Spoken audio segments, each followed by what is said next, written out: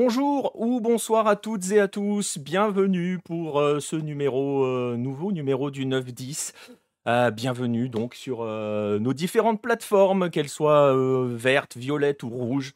Euh, vous allez pouvoir nous suivre sur ces, celles, qui vous, que vous préférez, tout simplement. Et vous pouvez laisser vos messages, on les verra tranquillement dans le chat. Bonsoir à ceux qui sont déjà présents. Euh, je vois Chris, je vois Nostromo, je vois Red, euh, je vois déjà des gens qui sont médisants, hein, des, gens du côté des États-Unis hein, notamment. Vous voyez, j'ai mis une présentation spéciale. J'essaye de faire, d'entretenir un petit peu le côté teasing et tout. Bonsoir à Paul, à Pierre et à leur ami. Je, je fais un côté teasing pour pas que vous sachiez qui va m'accompagner. Pour, enfin, vous avez peut-être vu hein, dans, le, générique, mais bon, pour l'instant, je les cache.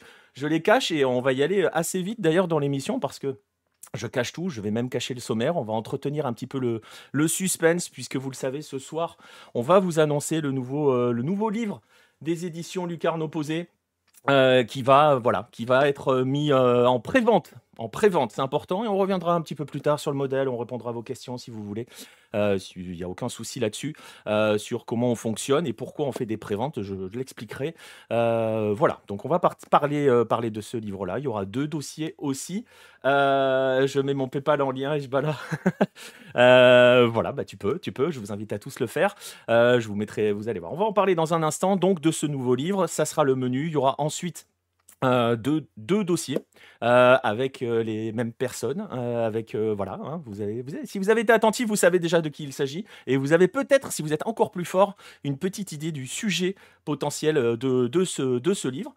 Je vois qu'il y a déjà du monde qui est installé.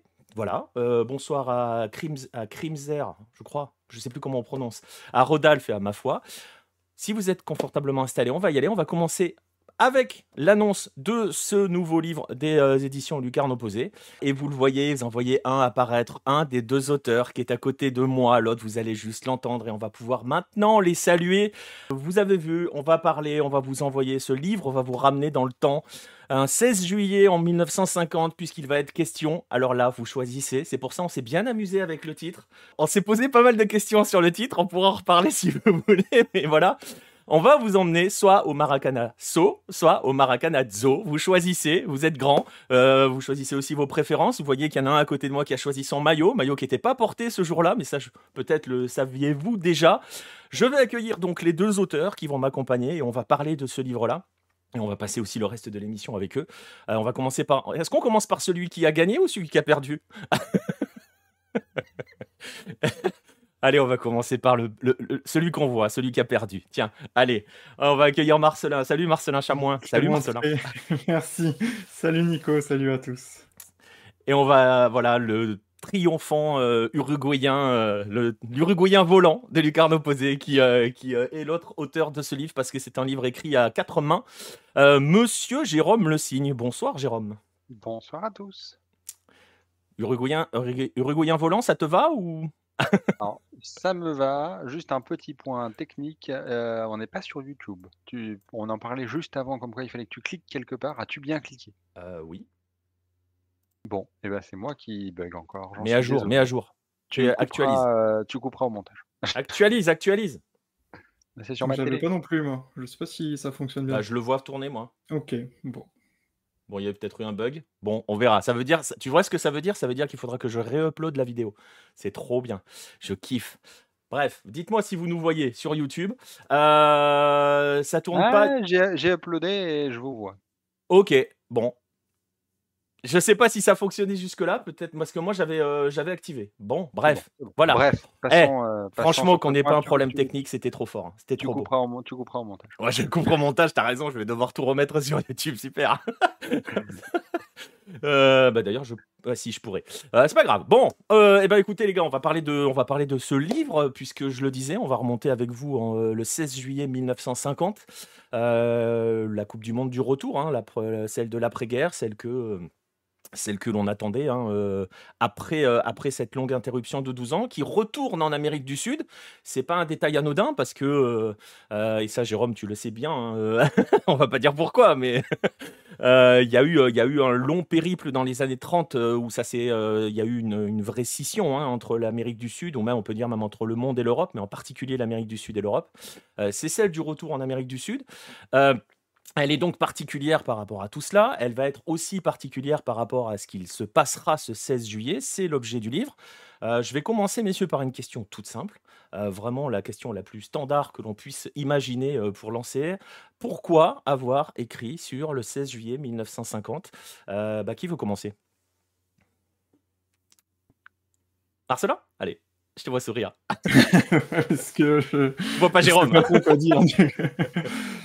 Euh, bah, pourquoi je pense que c'est l'un des matchs les plus mythiques euh, du, foot quand on parle de, l'histoire euh, du foot en général ou de la Coupe du Monde, c'est l'un des matchs qui revient le, le, plus souvent. Donc il y a eu beaucoup de choses qui ont été dites, mais en même temps, c'est vrai qu'on a souvent les, les, mêmes histoires de Gia, Barbosa.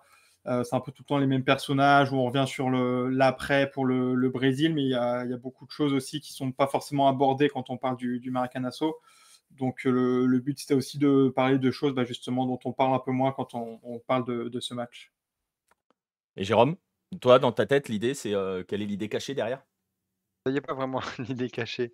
Euh, c'est un match légendaire, en effet, alors surtout en Uruguay au Brésil, évidemment, hein, qui est un, match de, légende sur lequel il y a, le, le, football est un sport quand même qui ne connaît pas très bien son histoire, je trouve, dans un cadre général.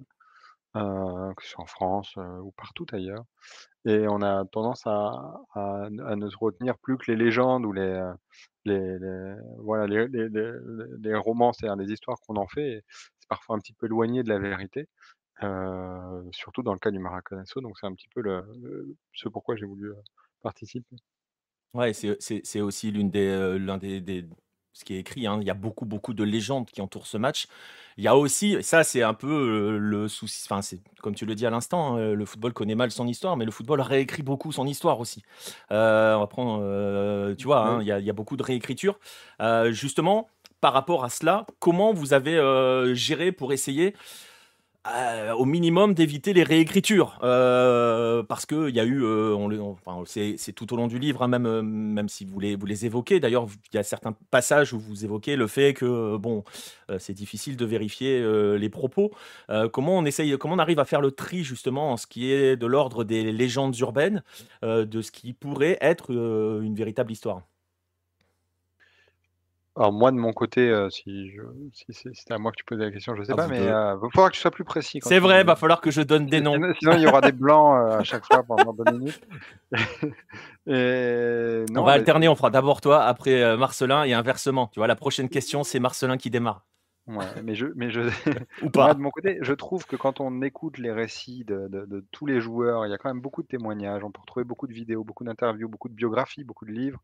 C'est-à-dire que quand on analyse le tout, moi de mon côté du moins, on arrive à se faire quand même une idée de ce qui s'est passé, de pouvoir mettre de côté évidemment tout, toute la, la, la, crème, entre guillemets, les légendes qu'on a pu en retenir, mais et, de retrouver un petit peu l'essence de ce qui s'est passé ce jour-là, euh, voilà, en, écoutant quand même beaucoup de témoignages, parce que c'est le plus important malgré tout. Il y a, on a la chance de pouvoir, c'est des matchs où on a la chance de pouvoir avoir beaucoup de témoignages vidéo, beaucoup de témoignages écrits sur ce qui s'est passé, la presse de l'époque. Donc il y a quand même beaucoup de sources qui nous permettent, euh, j'allais dire en tant qu'historien, c'est extrêmement prétentieux, mais en tant que voilà, en tant que personne qui s'intéresse à ce type de sujet, euh, de, pouvoir euh, reconstruire ce qui s'est passé ce jour-là dans les faits ou au plus près possible des faits, ce qui est toujours voilà, il n'y a, a, jamais de perfection, mais au plus près possible des faits. Et ça, et ça aussi, Marcelin, c'est c'est aussi une spécificité. Alors, euh, pour vous expliquer un petit peu par rapport à la bande-annonce que j'ai passée, la vidéo que vous voyez, elle est au musée du football. Hein. on l'a prise au musée du foot, dans ce qui s'appelle, euh, ils appellent ça le rite de passage hein, dans le musée. C'est un couloir euh, bien isolé et on est obligé d'y passer. Hein. C'est vraiment, il euh, n'y a, pas, a pas le choix. tu ne peux pas faire euh, contourner ce passage-là. Tu es obligé de passer dans ce couloir-là avec ces images qui sont projetées, ce bruit des chœurs brésiliens euh, voilà, sur les images de la finale. C'est aussi possible, ce que vient de dire Jérôme, aussi parce qu'il y a quand même une très très grosse documentation du côté du Brésil. Le Brésil, on l'a déjà évoqué hein, dans certains podcasts, n'a pas, même si certains romancent un petit peu, mais le Brésil regarde son histoire droit dans les yeux, hein, de manière générale, et écrit beaucoup sur le sujet. Hein. Euh, oui, il y a beaucoup de, livres sur le, sujet. Je pense que c'est quand même le, match où il y a eu plus de, livres écrits dessus. L'autre, c'est peut-être 82, donc euh, c'est encore une défaite. mais du coup, il y a beaucoup de, témoignages, même les, joueurs ont été interrogés. Et même sur ça, parfois, on voit des joueurs qui se contredisent un petit peu, qui présentent l'histoire d'une façon ou d'une autre. Donc, c'est sûr que c'est difficile de, faire la part des choses mais c'est vrai qu'il y, a beaucoup de contenu et donc en, recoupant un petit peu toutes, toutes ces sources, c'est possible d'être le, plus proche possible de, ce qui s'est passé. Ouais, alors justement, on, a un, on, a un point commun avec Marcelin, c'est que pour s'être intéressé à beaucoup de matchs qui se sont passés dans les années 1904, 1905, 1906, moi je trouve la finale de 1950 formidable pour la quantité de témoignages dont on en a, et ça permet de, de mettre en perspective. Ouais, ouais, c'est vrai, c'est vrai. Il y a beaucoup, beaucoup, beaucoup de témoignages. Alors justement, on va, on va, on va aborder le livre tout à l'heure, mais on est encore un petit peu sur le processus de conception. Euh, ça vous a pris combien de temps, les gars? Alors moi, je vous avoue, j'ai oublié. Hein. Euh, on, on en est à combien de mois dans cette histoire Voire années Ouais, plus euh, année, je pense. Année, hein C'est plus quand est né le, le projet, mais Ouais, il y a peut-être un an et demi, est-ce qu'on avait sorti une, vidéo sur le Maracanazo Ouais, on avait fait le podcast. Deux ans et demi. Deux ans il y a deux ans et demi, ok. donc on avait l'idée de, de faire une série ouais, spéciale dessus. Et puis après, on s'est dit, bon, en fait, il y a tellement de, choses à dire que un livre, ça, ça semble plus adapté. Mais euh, ouais, donc euh, voilà, deux ans et demi à peu près, le, au moins l'idée. Euh, et je m'en excuse parce que Marcelin m'a beaucoup attendu pendant ces deux ans et demi. Après, il y a eu une... ça, prend beaucoup de. Il y a eu une autre raison aussi, hein, Jérôme. Donc, euh, ouais, il y a quelques petits éléments de la vie hein qui font que, mais, euh, mais, ça mais, mais, peu importe, peu importe. Marcelin m'a beaucoup attendu. Je le remercie pour sa patience. J'ai avancé sur d'autres choses, hein, t'inquiète pas, j'étais pas perdu. il a déjà fini le tome 1 de l'Encyclopédia Universalis. Euh. donc, donc voilà, mais bon, voilà, vous voyez, hein, c'est un long cheminement, forcément, forcément. en plus, avec cette, cette difficulté, hein, parce que on, euh, bon, vous voyez, hein, ça se passe euh, comme, on dit, comme disent les photos, le groupe Vivien, mais c'est vrai qu'il faut l'écrire à quatre mains. C'est compliqué hein, cet exercice d'aller-retour, euh, d'écrire à quatre et de, de, se partager l'écriture d'un livre. Hein. Vous l'avez, vous l'avez, vous l'avez vécu comment vous cette, cette écriture à quatre Bah tiens, je vais commencer par celui qui a fait attendre tout le monde là, Jérôme. bah moi très bien à partir du moment où tout le monde attendait. non mais évidemment mais et puis on l'a écrit en fait on l'a écrit à six mains pour, pour être très précis, puisque tu as beaucoup aidé à justement à faire ce travail de jointure qu'on n'aurait peut-être pas forcément, ou ça aurait peut-être peut-être pu créer potentiellement plus de difficultés si on n'avait pas eu quelqu'un entre nous pour aider et pour voilà pour pour pour pour mettre en harmonie un petit peu tout ça et, et le résultat est d'ailleurs parce pas exactement ce qu'on souhaitait au départ donc on a beaucoup avancé ensemble et, et ça c'était plutôt positif c'est génial. Marcelin, pareil, ça a été? Toi qui as l'habitude de, tartiner tout seul? Euh, Ouais, je pensais pas d'ailleurs euh, une fois faire un livre à, quatre, parce que justement, c'est compliqué de, se mettre euh, d'accord avec quelqu'un d'autre. Mais au final, j'étais très content de faire que Jérôme, c'est très bien passé. C'est vrai que c'est bah, encore plus enrichissant quand tu as une personne en plus, parce que sur les deux autres, on n'était que, tous les deux avec Nico. Là, tu as du coup euh, six mains, six, yeux. Donc, euh, c'est vrai que le, livre, en fait, il s'enrichit à chaque, échange. Il y a quelqu'un qui voit les choses d'une autre, façon, et après euh, l'autre qui peut apporter quelque chose. Donc, c'est vraiment très appréciable tous ces, tous ces retours, même si c'est parfois un peu long. Ah oui, oui, ça fait, ça fait perdre. C'est vrai que ça fait perdre du temps. Hein, c'est, chronophage dans ce sens-là. Deux, trois réponses. ça se prononce comment On nous demande de Gaël de Marseille tu choisis. soit Maracanazo si tu es euh, côté Brésil, soit Maracanazo si tu es côté. Euh, côté non, euh, non, non, non, je, tu le prononces à l'italienne là, mon petit Maracanazo? Ouais. Ah, vas-y, il va m'apprendre sur, il va me tuer sur l'accent. Vas-y. Alors, comment on le prononce en uruguayen? Non, mais comme tu le prononçais en, en portugais, Maracanazo, il n'y a pas de. Ouais. Même c'est le. Ouais. Oui, le Z n'est pas prononcé. C'est vrai, c'est vrai. Bon, alors, tu, le prononces Maracanazo, voilà, point. mais pour l'écriture, c'est dit euh, au Brésil et, Z euh, en espagnol. Voilà, mais euh, ça a été, ça, a été, ça a été l'objet, l'objet de bien des débats, le titre. On ne savait pas trop comment l'appeler. on s'est bien pris la tête. C'est le principe de quand on est plusieurs. Hein. À partir du moment où on est trois, il n'y a jamais il a jamais d'unanimité. Hein. Déjà à deux, ça arrive, on arrive à trouver à trois. Mais euh, mais au final, euh, au final, voilà, au final, c'est plutôt sympa, je trouve, euh, comme cela. ça s'écrit comment un livre à quatre mains? Comment s'est passée la, la répartition? J'imagine tu voulais dire Nostromo. C'est deux questions qui se rejoignent avec Rodolphe. bah justement, on peut peut-être en parler un petit peu. Et Jérôme et Marcelin vous ont dit que ça a beaucoup évolué. au fil du temps. Euh, pour ne rien vous cacher, on voulait le faire, euh, on voulait faire la journée au départ, on voulait faire heure par heure. Enfin, chaque chapitre devait être des heures. Euh, on s'est aperçu que c'était vite, vite compliqué. on va pas, on va pas se le cacher. C'est devenu trop, trop vite compliqué, surtout au moment du match et de l'après-match. Euh, et au final, on l'a, on, l'a réparti, euh, on l'a réparti en trois périodes hein, concrètement l'avant-match, le match et l'après-match. Voilà, c'est aussi simple que ça. Euh, après, comment ça se, comment ça se répartit? Est-ce que l'un de vous deux veut expliquer ou est-ce que je le fais? Jérôme, Marcelin, oh, bah, Oui, enfin, bah, c'est, assez simple. Hein, la répartition était quand même assez claire au départ. J'ai plutôt un domaine de prédilection. Oui. ah oui, sur les sujets, oui. et Marcelin a écrit sur, sur, le Brésil et après on, pareil, on a fait un petit peu des jointures sur certains sujets, etc. Mais, mais, la répartition était quand même sur cette base-là. Marcelin parlant couramment, voire même mieux le portugais, et, et moi parlant pas trop mal l'espagnol. J'aime bien le pas trop mal. non, mais c'est ça. Alors, le livre aurait pas fait 1000 pages hein, non plus. Alors, si vous voulez tout savoir, le livre fait 239 pages. Euh, voilà, vous avez 239 pages sur le Maracanazo. Euh, Maracanazo. Euh, je vais me faire engueuler à chaque fois que je le prononce mal. c'est terrible parce que je me fais engueuler à la maison quand je parle anglais parce que j'ai un accent pourri par mes gosses. Et voilà, je me fais engueuler par Jérôme parce que j'ai un accent pourri en espagnol. C'est pas possible. Je t'ai pas, t'ai pas engueulé, mais c'est toi qui reprends à chaque fois tout le monde en plus. Ouais, c'est vrai, c'est vrai, c'est vrai. c'est vrai, non, mais t'as raison, t'as raison, mais bon. Euh, voilà, et donc en gros, pour vous donner une idée, hein, l'idée c'est que euh, dans la répartition, donc Jérôme vous l'a expliqué, hein, euh, tout ce qui est Brésil, c'est Marcelin. Euh, tout ce qui est Uruguay, c'est Jérôme. Il y a quelques moments où ils se, regroupent un, se recoupent un petit peu. et dans la répartition, en fait, l'idée, c'est qu'on va prendre des moments marquants, de, des, moments de la journée. Et il y a pas mal aussi de flashbacks hein, pour expliquer comment on en est arrivé là, pour parler de certains joueurs, comment ils sont arrivés là, qui ils sont. Il y a des portraits, il y a des histoires de clubs, parce que voilà, il y a tout un contexte qui est mis en place, tout un contexte historique, tout un, tout un contexte football footballistique, euh, parce que euh, que ça soit le Brésil d'un côté euh, ou l'Uruguay de l'autre, on n'arrive pas avec les mêmes, je ne sais pas si on peut dire dispositions, mais avec les mêmes euh, les mêmes certitudes, si tant est qu'il puisse y en avoir de l'un et de l'autre. Euh, donc voilà, tout est important sur euh, le, décor hein, qui entoure ces deux sélections. et donc forcément, dans chaque chapitre, il y a ce qu'il se passe ce 16 juillet, à ce moment-là, et un flashback en rapport avec le, thème de ce début de chapitre. Donc voilà à peu près comment se répartit le livre.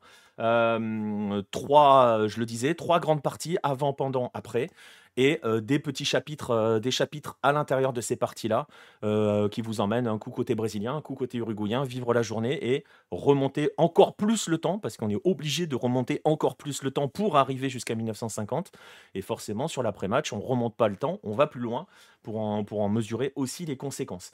quelles sont les sources utilisées par Jérôme et Marcelin et comment sont traitées les informations qu'ils ont répertoriées? qui veut commencer, Marcelin? Euh, oui, alors bah, pour moi, surtout à des livres qui ont été écrits en portugais. Donc il y a une euh, bibliographie euh, à la fin avec tout, tout ce que j'ai utilisé. Et après, bah ouais, c'est en recoupant les, les différentes sources pour, pour noter ce qui est le plus intéressant, ce qui, ce qui est le plus proche de, de ce qui s'est passé. Jérôme? Et oui, bah moi pareil, c'est, j'ai fait une sorte de fichier où je reprenais toutes mes sources les unes après les autres. Avec les visionnages, avec les livres, hein, principalement aussi, plutôt en effet en espagnol et et malgré tout avec une petite correction par rapport à ce que tu disais où il y a un côté espagnol, un côté portugais. Il y a moi, il y a un personnage que j'aime beaucoup, mais qu'on retrouve dans ces 50 premières années du football, qui est un Français pour le coup, qui intervient, et qui joue un rôle, pas sur le jour de la finale ou ou si, il joue un petit rôle, mais un petit rôle le jour de la finale, mais qui joue un grand rôle pour arriver là, qui est Jules Rimet quand même qui est un personnage ambigu, mais, euh, mais qui a une importance quand même, une importance Et, que l'on voit dans la bande-annonce, c'est pas anodin d'ailleurs, parce qu'il a, il a un petit rôle, mais il a un rôle, tu l'as dit, c'est clair. Euh, il a un rôle dans beaucoup de choses hein, par rapport à la présence, euh, à l'importance de la Coupe de, de, l'Amérique du Sud dans le football, dans la, création de la Coupe du Monde et tout. On va pas revenir là-dessus, mais parce qu'on en a déjà parlé. Euh, et, c'est justement cela aussi sur ce livre, cette, ce 16 juillet 1950, par rapport à Rimé, et tu fais bien de l'évoquer, euh, on sent qu'on marque, ça marque aussi la fin d'une époque. Hein. Alors pour le coup, c'est marrant parce qu'on est vraiment à mi-siècle, mais ça marque vraiment la fin, la fin d'une époque et le début d'une nouvelle ère, hein, ce match, finalement. Oui, et je vais apporter une correction euh, pour te corriger à nouveau, deuxième fois, la troisième. Je... Mais pour quelque plaisir. chose le mec se venge. Mais pour faire quelque chose qui va te faire plaisir, parce que je sais que c'est en plus un sujet qui te tient à cœur, c'est que c'est pas l'Amérique du Sud, c'est les Amériques, c'est l'Amérique en général. Oui. Euh, parce que les États-Unis ont beaucoup participé au développement du football mondial, euh, avaient un football assez développé dès les années 20-30, et quand les Amériques boycottent dans les, à la Coupe du Monde en Italie par exemple, les États-Unis n'y vont pas non plus. Et ils sont de, recours, de retour là à cette Coupe du Monde 1950 avec la fameuse performance contre l'Angleterre dont tu as parlé, il me semble, dans un magazine Hello. Ouais, dans le dernier, dans le 21 c'est pour ça que c'est tout frais. Voilà. Euh, et, donc l'Amérique contre l'Europe, en effet, euh, dans le développement de la Coupe du Monde. Et, et, Rimé a beaucoup influé sur ça, avec des allers et des retours, parce qu'en effet, la Coupe du Monde, la première de la FIFA a lieu en Uruguay en 1930. Après, il y a une sorte de période de, de boycott où, à part les Brésiliens qui sont déjà très euh, euh, dans les petits, veulent se mettre dans les petits papiers de la FIFA à l'époque, euh, euh, donc qui participent, mais sinon il n'y a, presque pas d'Américains qui participent à la Coupe du Monde 34 et 38. Et là, c'est un retour en 1950 parce que bah, la FIFA est un peu obligée de faire jouer une Coupe du Monde dans les Amériques, donc comme je le disais. parce qu'il l'avait déjà promis, 1938, logiquement, aurait déjà dû jouer en Amérique du Sud. Ouais, et pour rebondir sur le Brésil de Marcelin, et parce que le Brésil était déjà candidat s'il n'y avait pas eu la guerre. Oui, mais l'Argentine était candidate aussi. Euh, donc, euh, enfin, il y avait une, certitude plus ou moins, en effet, que c'est la, celle de logiquement 42 au départ devait jouer en Amérique du Sud. Euh, et, au final, c'est le Brésil qui l'a emporté par d'abord une décision, en effet, de la Confédération sud-américaine de football, qui décide dans sa majorité de voter contre l'Uruguay et l'Argentine et qui décide donc que ce sera le Brésil qui sera le candidat des Amériques pour héberger la commune.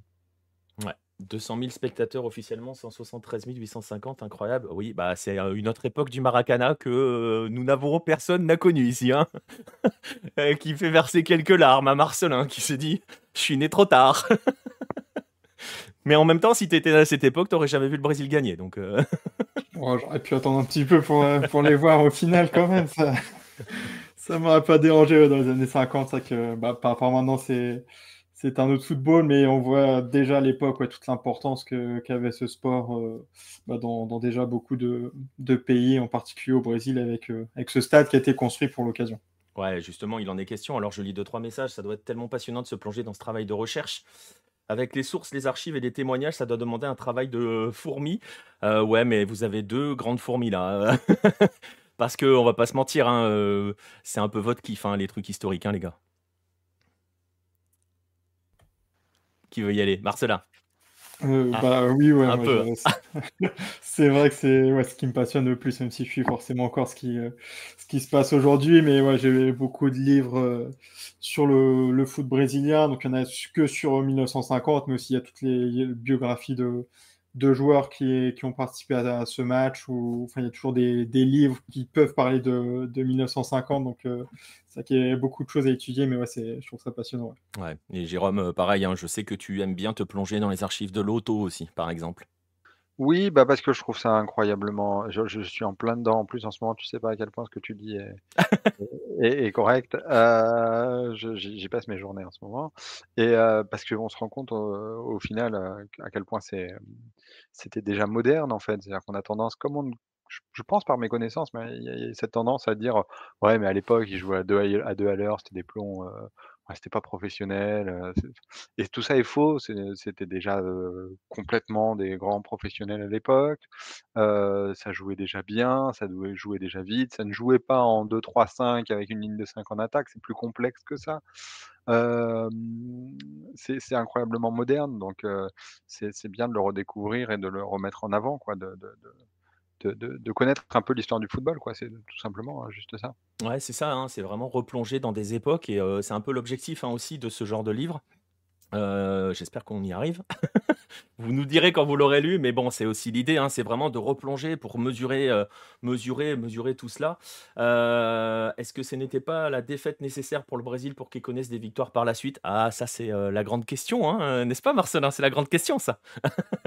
Est-ce que s'ils avaient gagné 50, ils auraient gagné ensuite? Elle est bah, bonne la question là. On... On pourra pas savoir. On peut pas le savoir. Est-ce qu'il euh, y a une remise en cause? Euh, Je sais pas. Est-ce que oui, en 1950 on aurait eu Pelé ou pas? Je, pense qu'ils auraient pu, euh, ils auraient pu gagner quand même, mais, mais bon, on ne saura pas. Ouais, c'est toujours difficile. Ça devait vrombir des vrombir et des mètres cubes de larmes. Alors on va rien, on va pas trop spoiler, mais il n'y a pas forcément beaucoup, il y a pas forcément que des larmes hein, à la fin du à la fin du match. Vous le verrez dans le livre. Euh, il y a des passages qu'on n'a pas l'habitude de, enfin voilà, dont on ne savait pas. On a tous en tête l'image d'un stade qui pleure euh, ultra silencieux. C'est pas forcément entièrement le cas, hein, euh, n'est-ce pas, Jérôme hein, À la fin, c'est il y a un côté, comment dirais-je, le public est sonné, mais il reprend ses esprits un peu.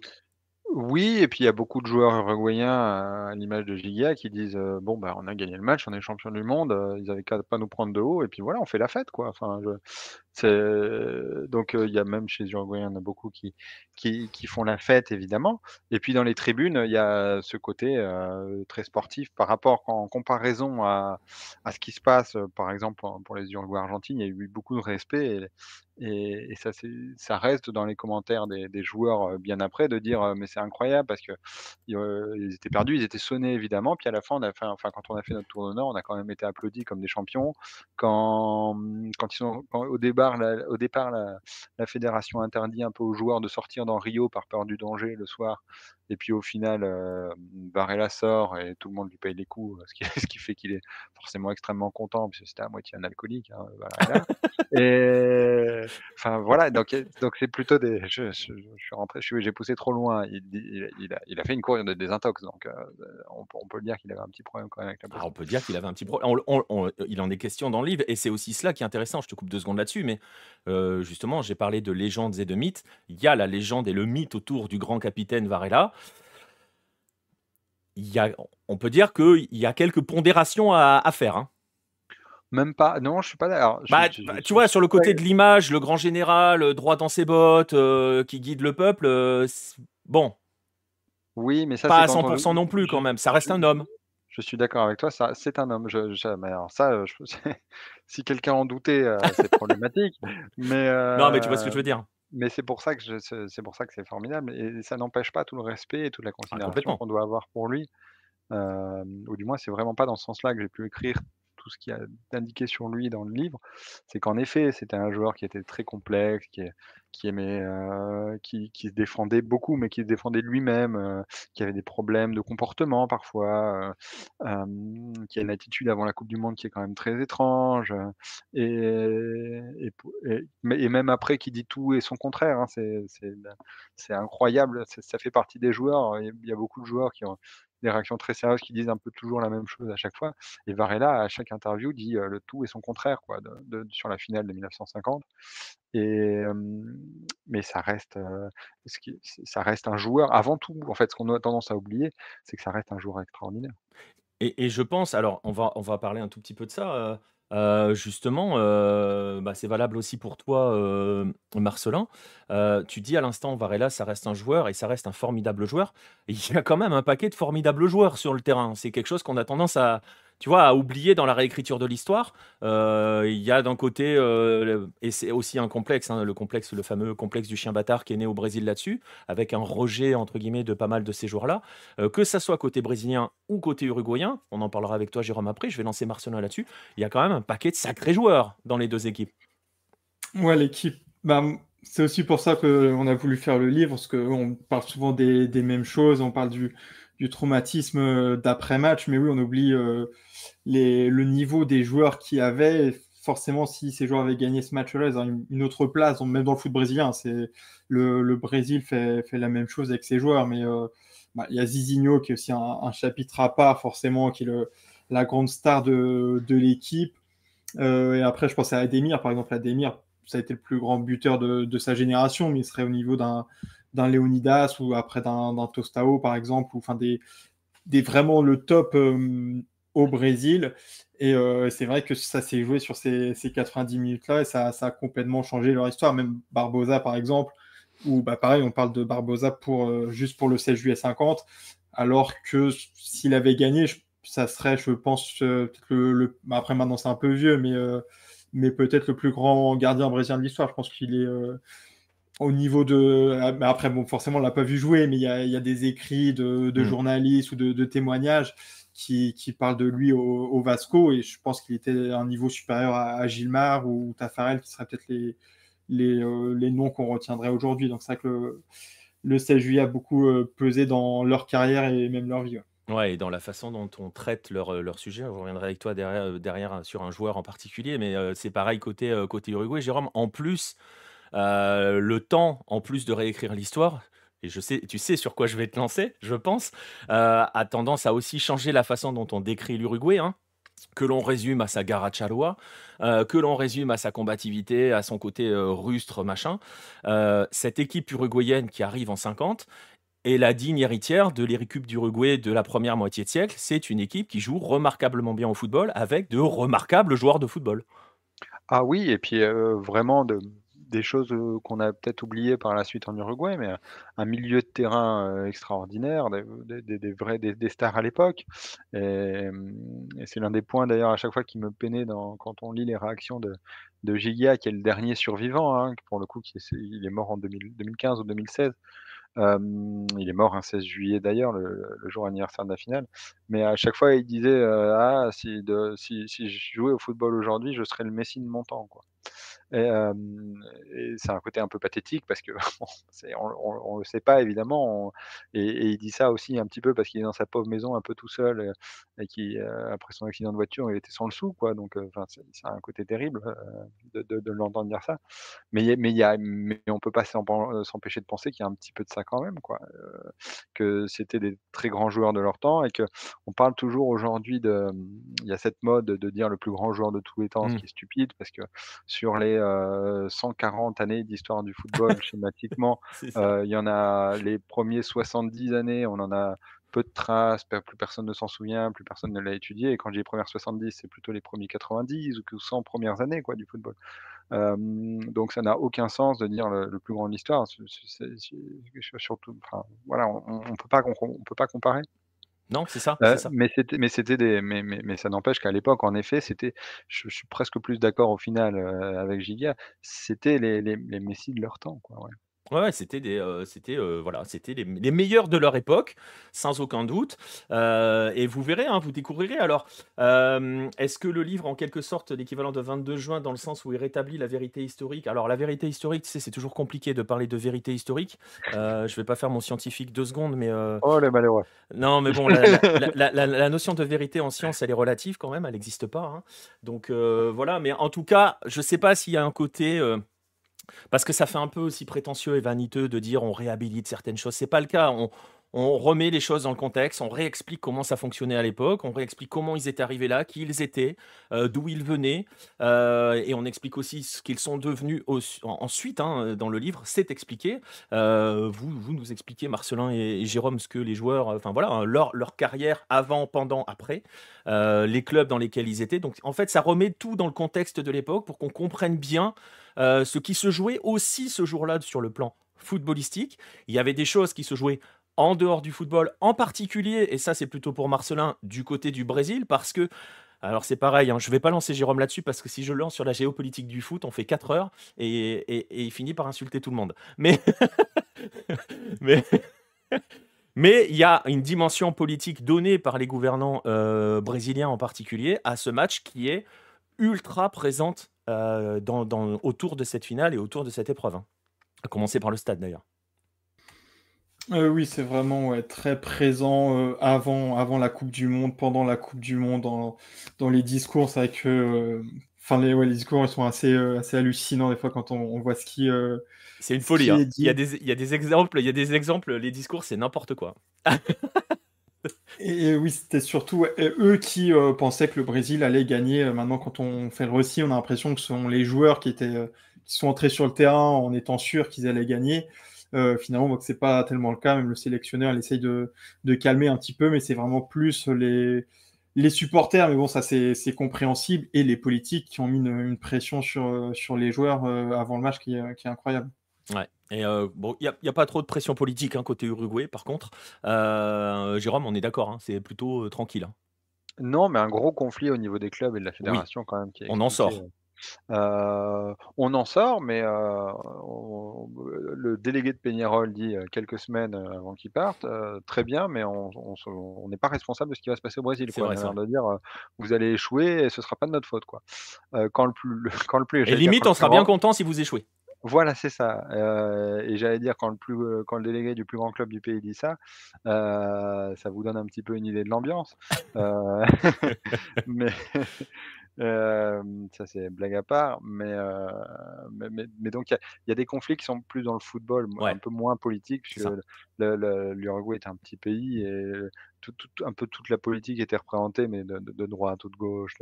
donc c'était compliqué. Enfin, il n'y a, pas vraiment de, conflit, il n'y a pas vraiment d'idée de, que de faire le pays d'un grand pays ou quoi que ce soit. Ça reste l'Uruguay. Leur objectif a été toujours, comme un peu déjà dans les années 30, c'était de pouvoir placer l'Uruguay sur une carte du monde, quoi, ce qui est quand même déjà plus modeste. Avec, avec, avec aussi la volonté, euh, parce que euh, peut-être un petit peu à la différence de 30, quoique, quoique non, euh, de, de confirmer qu'on est quand même la nation qui domine le football de la première moitié de siècle. Ah, mais ils y vont, alors eux, dans leur tête, ça. ils y vont en favori. Ouais. Et, c'est les seuls à le penser, je pense. mais... Mais, tu vois, c'est ça qui est intéressant. Je te coupe deux secondes, après tu vas pouvoir y aller, mais c'est ce qui est intéressant. C'est ce qu'on voit très bien dans le livre. Euh, quand il y a tout le passage de l'avant-match et tous les flashbacks, euh, eux savent, eux sont persuadés qu'ils vont la gagner, cette Coupe du Monde. Oui, et, parce qu'ils ont déjà joué le Brésil, parce que c'est des pays qui quand même se connaissent relativement bien, même s'il y a eu des périodes de pause, même si les derniers affrontements, euh, enfin, même si la dernière Copa América, c'était une équipe amateur parce qu'il y avait des luttes dans le football, etc. En effet, c'est des pays qui se connaissent bien et c'est ce que l'entraîneur dit, c'est-à-dire qu'à la limite, l'Angleterre, l'Italie leur fait peur parce qu'ils ne les voient pas jouer c'est une époque où il n'y a plus d'échanges dans le football mondial. les, pays ne se voient plus jouer. Euh, dans, les années 10, les clubs anglais vont faire des tournées en Amérique du Sud. Euh, les clubs hongrois vont faire des tournées en Amérique du Sud dans les années 20. donc, ils voient le football européen. les années 50, ça sort un petit peu de, 15 à 20 ans, quelque chose comme ça, football, où il y a une vraie division entre le football des Amériques et le football européen. Ce qui compose le football mondial à l'époque. Hein, je suis mmh. désolé pour non, les autres, pour tout, pour tout un tas de raisons qui ne composent pas, mais, mais ces, deux footballs-là ne se parlent plus et c'est la première occasion de se re-rencontrer. Et les Uruguayens, le, se disent ils peuvent gagner contre le Brésil, ils, ne savent pas comment ils vont jouer contre les autres. Euh, et c'est pour ça qu'ils ont du mal à aborder aussi le match contre la Suède, où ils font un mauvais résultat qui est un match nul, ou le match contre, contre l'Espagne. Ouais, et bah, justement, vous verrez dans le livre, hein, pour continuer, vous verrez qu'il y a quand même et par rapport à ce que disait Jérôme sur le côté, on dit que maintenant, on essaye de comparer les époques, vous verrez que la dimension tactique est très très présente dans ce match. Si on se concentre sur l'aspect footballistique pur de cette finale, il y a un aspect tactique très prononcé, avec des plans mis en place très très clairs de part et d'autre, hein, parce que que ça soit côté brésilien, il y a une... Je sais pas, est-ce qu'on peut dire que c'est un peu révolutionnaire à ce moment-là, côté brésilien, la façon dont ils évoluent, Marcelin? Pour l'époque, pour le Brésil? Euh, oui, un petit peu, ouais, sur l'utilisation d'Ademir par exemple. Après, c'est vrai que tactiquement, euh, ça, ça, a beaucoup évolué. C'est peut-être parfois plus difficile de savoir vraiment comment, comment ça jouait.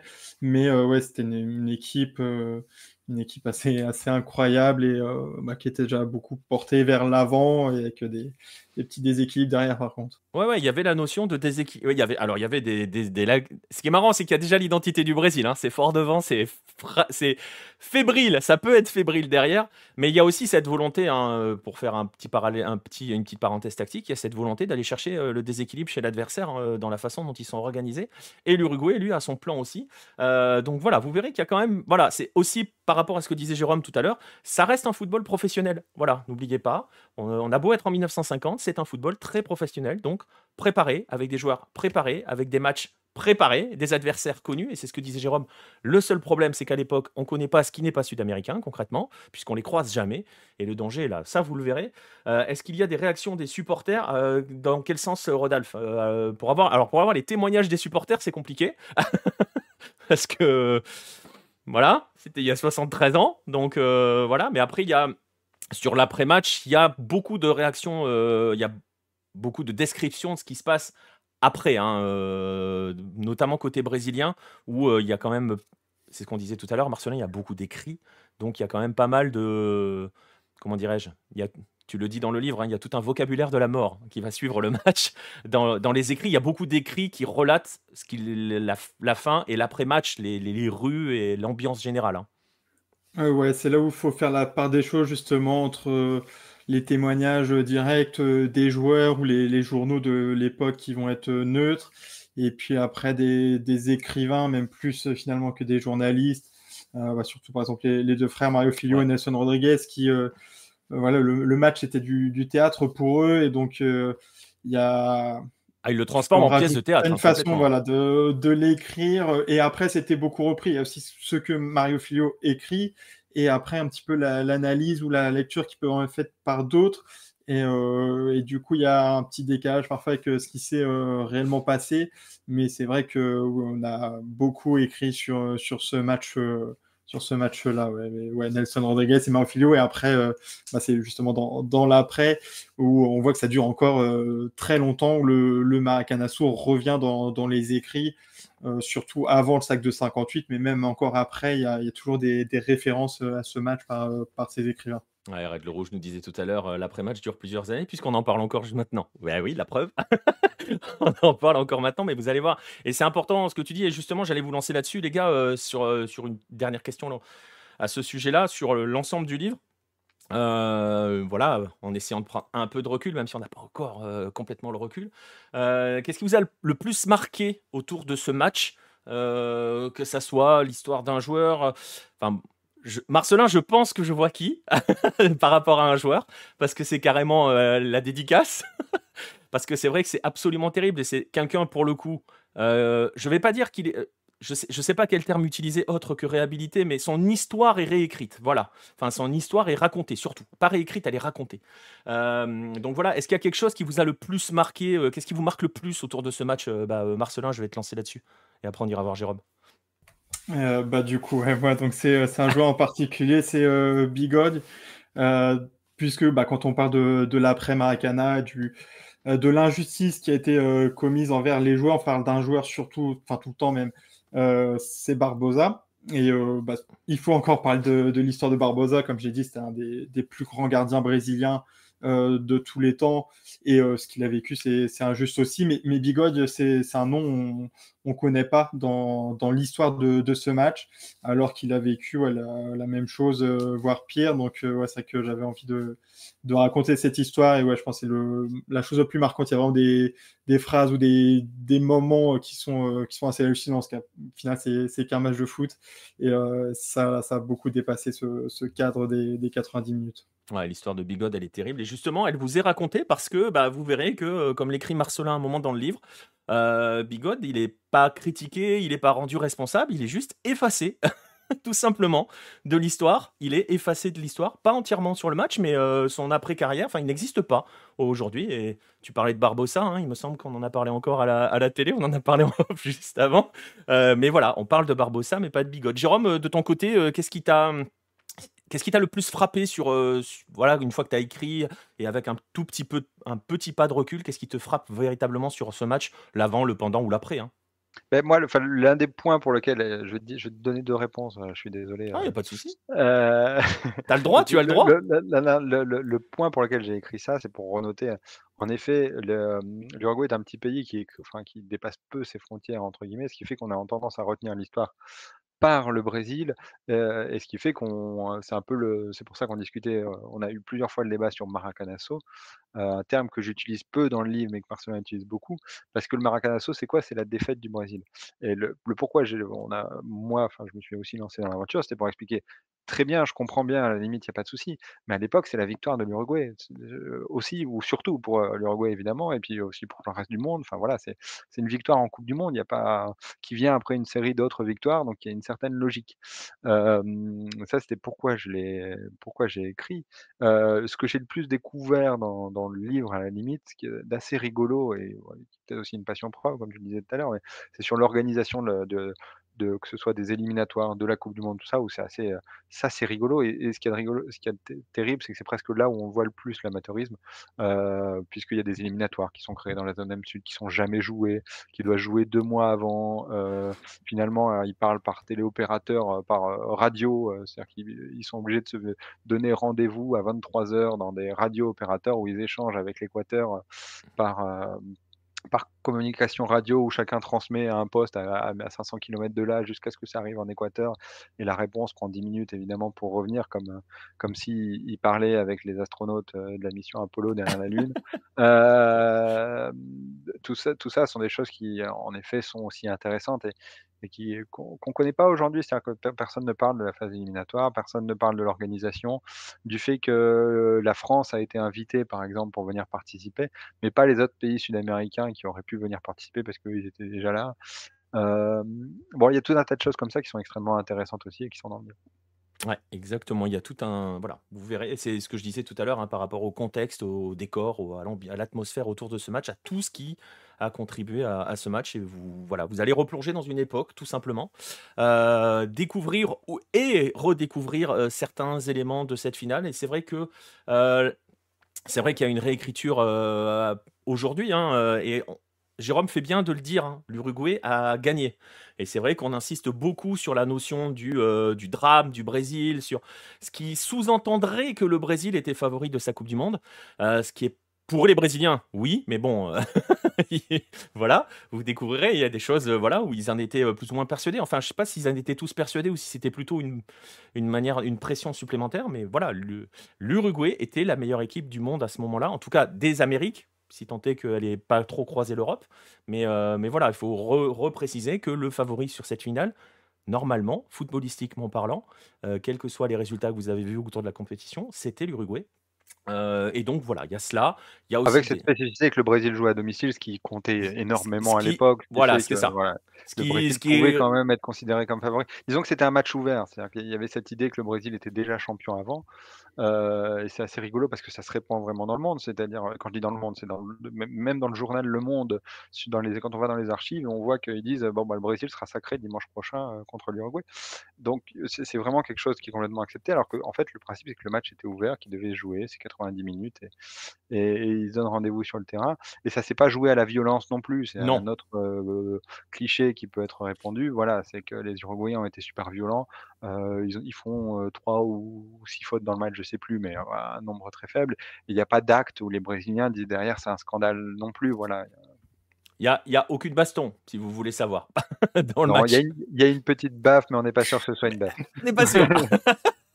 on vous laisse découvrir l'histoire de la baffe parce que vous allez voir, et c'est aussi en cela que c'est intéressant, hein, que la lecture du livre est intéressante, indépendamment de l'histoire aussi, c'est dans la façon dont l'histoire est traitée a, posteriori, et euh, justement comment euh, on la réécrit, on la refaçonne pour, euh, ben, Marcelin disait, hein, les, deux frères qui ont, qui ont quand même pas mal fait de ce match une pièce de théâtre, on doit dire les choses clairement, et donc ils l'ont scénarisé, cette finale, et donc ils n'ont pas hésité non plus à réécrire des passages euh, qui ne se sont pas véritablement passés. Alors c'est assez rigolo, vous verrez que bah, les joueurs au début disent bah non, et puis à un moment si ah oui ça s'est peut-être passé comme ça, et puis en fait non ça s'est pas forcément. Enfin vous verrez, il y a 75 versions, euh, enfin 75 j'exagère, il y a plusieurs versions de certains événements, les perceptions évoluent en fonction du temps.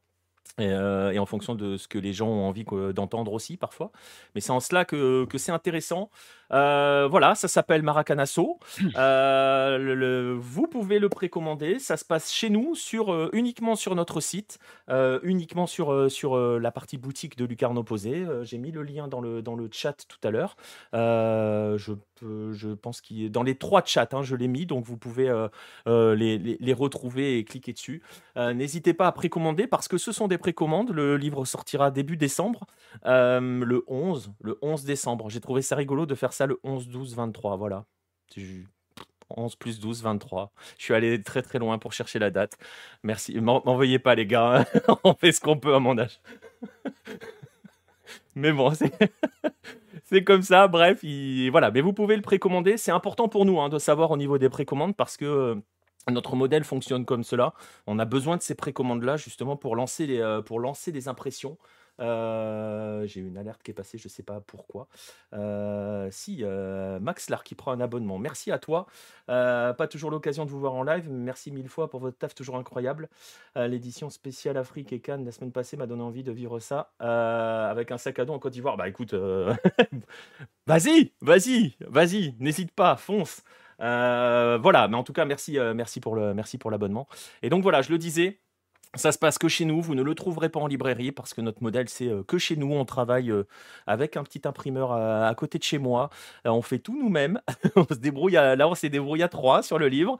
vous avez voilà et, on a besoin de, ces précommandes là justement pour pouvoir ensuite lancer les impressions. Donc, si ça vous, s'il vous intéresse, si vous avez envie de vous l'offrir, n'attendez pas forcément le dernier moment. Faites-le, euh, faites-le sur les précommandes. Ça nous aide nous aussi euh, à pouvoir, bah, justement, euh, préparer, préparer tout cela.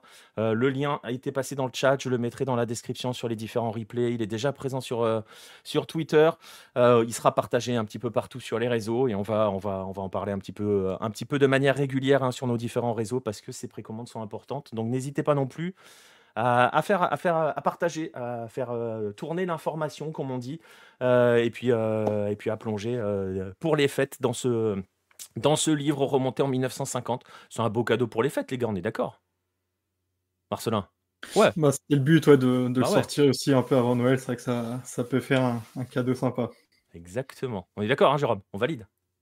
Oui, évidemment. Mais même un cadeau à soi-même, je pense surtout, parce que c'est très bien. Oui, c'est vrai. non, mais c'est vrai. vous voyez, voyez que Jérôme est notre responsable commercial. Hein. voilà, si vous voulez de la pub, c'est très bien. mais non, j'arrive sur le live, je vois Marcelin un nouveau livre, c'est pas possible. Eh oui, euh, eh oui, Figo, euh, Marcelin avec Jérôme, ils sont, euh, ils sont tous les deux sur, sur ce livre, sur le 16 juillet 1950. Voilà, n'hésitez pas. Pensez le précommander, c'est important pour nous de savoir au niveau des précommandes. Euh, vous avez à peu près un mois hein, pour, euh, pour le précommander, donc vous avez aussi un peu le temps pour le faire. Mais euh, voilà, c'est important pour nous pour pouvoir ensuite lancer véritablement les, les, impressions et tout et tout, et faire la suite. n'hésitez pas, n'hésitez pas à venir nous poser des questions hein, si vous en avez envie. Ah, merci Gaël. Euh, c'est précommandé, nous dit Gaël. Merci à toi. Euh, voilà, n'hésitez pas si vous avez des questions. On est euh, présent sur les réseaux. venez plutôt sur Discord si vous voulez chauffer le Jérôme, parce que il a coupé de la jungle feu Twitter devenu X. on se demande pourquoi c'est devenu X d'ailleurs, mais c'est un autre débat. N'hésitez pas. Hein, et voilà, n'hésitez pas donc à faire tourner l'information. Voilà, c'est le nouveau livre, le cinquième. je peux vous montrer les précédents. Je peux, vous les montrer. Je les ai là. Incroyable. Pour une fois que je les ai à côté de moi. Ça avait commencé avec ça, de Monsieur Marcelin. Je vais montrer les deux du Marcelinho. Comme ça, ça sera fait. Hein. Voilà. Et quand on vous dit qu'il kiffe l'histoire, hein, le premier avola. Jérôme, tout à l'heure, euh, tu refusais le titre d'historien. À votre manière, vous en êtes. Hein. Euh, je suis désolé, mais à votre manière, c'est un travail d'historien. Je suis, tu vas me dire, j'ai pas les diplômes, j'ai pas le blabla, mais euh, c'est un travail d'historien quand même. Ensuite, il y avait celui-là. Je te laisse même pas répondre. Tu as passé beaucoup trop de temps à corriger mes fautes d'orthographe pour que je puisse. Alors, venant du milieu universitaire, je peux t'assurer que l'orthographe n'est pas un gage de valeur scientifique. Voilà. Sachez que j'avais voulu faire plein de figures de style en commençant mes chapitres par des conjonctions de coordination qui ont été coupées au montage. C'est scandaleux. Voilà, vous saurez, vous saurez qu'il y, a eu des, y a eu des coupures au montage. Voilà. les compétences sont plus importantes que les diplômes, nous dit Nostromo. Oui, bon après, si tu veux travailler dans ce milieu-là, vaut mieux les diplômes aussi quand même. Hein. Euh, j'ai le Garincha, quel plaisir. J'ai bien kiffé. J'aurais kiffé avoir sa vie, nous dit Max là. Hmm, est-ce que je peux émettre un doute? Parce que la fin de vie, elle est compliquée quand même. Hein. Euh, une partie de la vie, pourquoi pas, mais la fin. Faut aimer les chèvres. Hein, faut aimer les chèvres. on parlait de légendes et de mythes. Euh, voilà, on va terminer là-dessus. Je le disais, vous avez vu les deux, vous avez vu les 11 Caminos, vous avez vu le 22 juin. Euh, J'avais vu une question justement, je l'ai posée hein, sur, euh, sur cela. Euh, voilà, c'est un. Et maintenant, vous allez donc avoir Maracanasso. Vous avez un mois pour le précommander. Voilà. On va passer à la suite. On va rester avec ces deux messieurs. on va aller. Alors, il y a eu un tirage au sort qui a été effectué. parce qu'il y a deux petits dossiers maintenant. Euh, il y a un tirage au sort qui a été effectué par euh, un huissier de justice qui s'appelle euh, Jérôme Le Signe. qui nous a décidé que, qui nous a donc permis de décider que le dossier qui allait suivre nous allait nous emmener au Brésil. Voilà. on va commencer par Marcelin. On va encore remonter le temps, hein, Marcelin, finalement. on était en 50 et là, on va aller encore plus loin. La prochaine fois, je fais le stream en noir et blanc. tu sais, avec un côté sépia et tout. Euh, bref, on va remonter encore plus loin. On va remonter jusqu'en 1937, messieurs, dames. Allez, c'est parti pour le dossier Atlético Minero.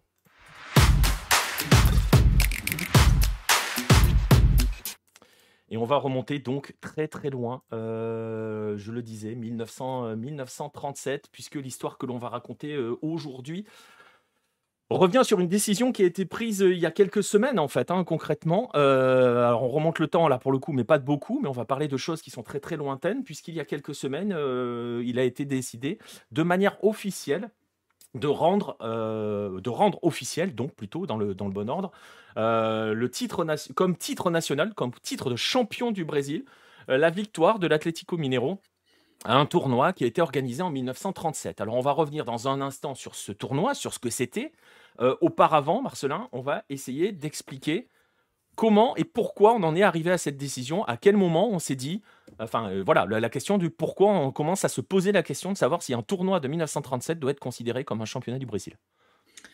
Euh, oui, dans l'histoire, très longtemps, le premier Brésilien qui était connu sous le nom de Campeonato Nacional de Clubes a eu lieu en 1971 et c'était aussi l'Atlético Mineiro qui l'avait remporté.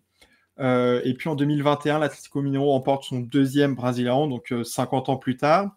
Et à cette époque, le président Sergio euh, Coelho, il annonce vouloir que donc, ce tournoi de 1937, qui est appelé Torneo dos Campeões, soit reconnu comme un Brésilien à part entière, et donc que le club soit considéré tricampion 1937, 1971, 2021. Et c'est un choix qui un souhait qui était largement soutenu par les supporters. Euh, à l'époque, sur Twitter, on voyait tous les, tous supporters du galop qui avaient les, trois étoiles avec euh, les trois dates. Donc, c'était une, campagne soutenue vraiment par, euh, par les supporters. Hop, et je vais l'afficher. Vous voyez, là, ici, un exemple avec le coq et les trois étoiles. je la trouve très très belle cette image. mais bon, bref, voilà. C'était une parenthèse. justement, voilà, tu le disais, tu l'expliques, il y a ce tournoi de 1937. Alors, c'est quoi ce tournoi concrètement, ce tournoi de 1937 alors, donc c'est le Torneo dos Campeões qui a été créé par la FBF, donc la Fédération brésilienne de football, qui est une fédération euh, qui a été fondée en 1933 et qui autorise le professionnalisme. Hein, donc 1933, c'est l'officialisation justement du, professionnalisme au Brésil, euh, même s'il y a encore des, conflits. Il y a de nombreux clubs qui adoptent à cette période euh, le professionnalisme et qui vont donc disputer ces compétitions de la FBF. Euh, il y a une autre fédération qui est donc la, CBD, qui est l'ancêtre de la CBF euh, d'aujourd'hui, qui, elle, euh, est la fédération reconnue par la FIFA et qui refuse encore le, professionnalisme, mais par contre qui appelle les joueurs en sélection. Quand on parlait par exemple dans, le mag numéro 3 sur la Coupe du Monde 1934, il y a tout ce, conflit entre ces deux fédérations et donc, il y a la moitié des joueurs du, Botafogo qui vont aller à la Coupe du Monde euh, parce que Botafogo est encore euh, amateur.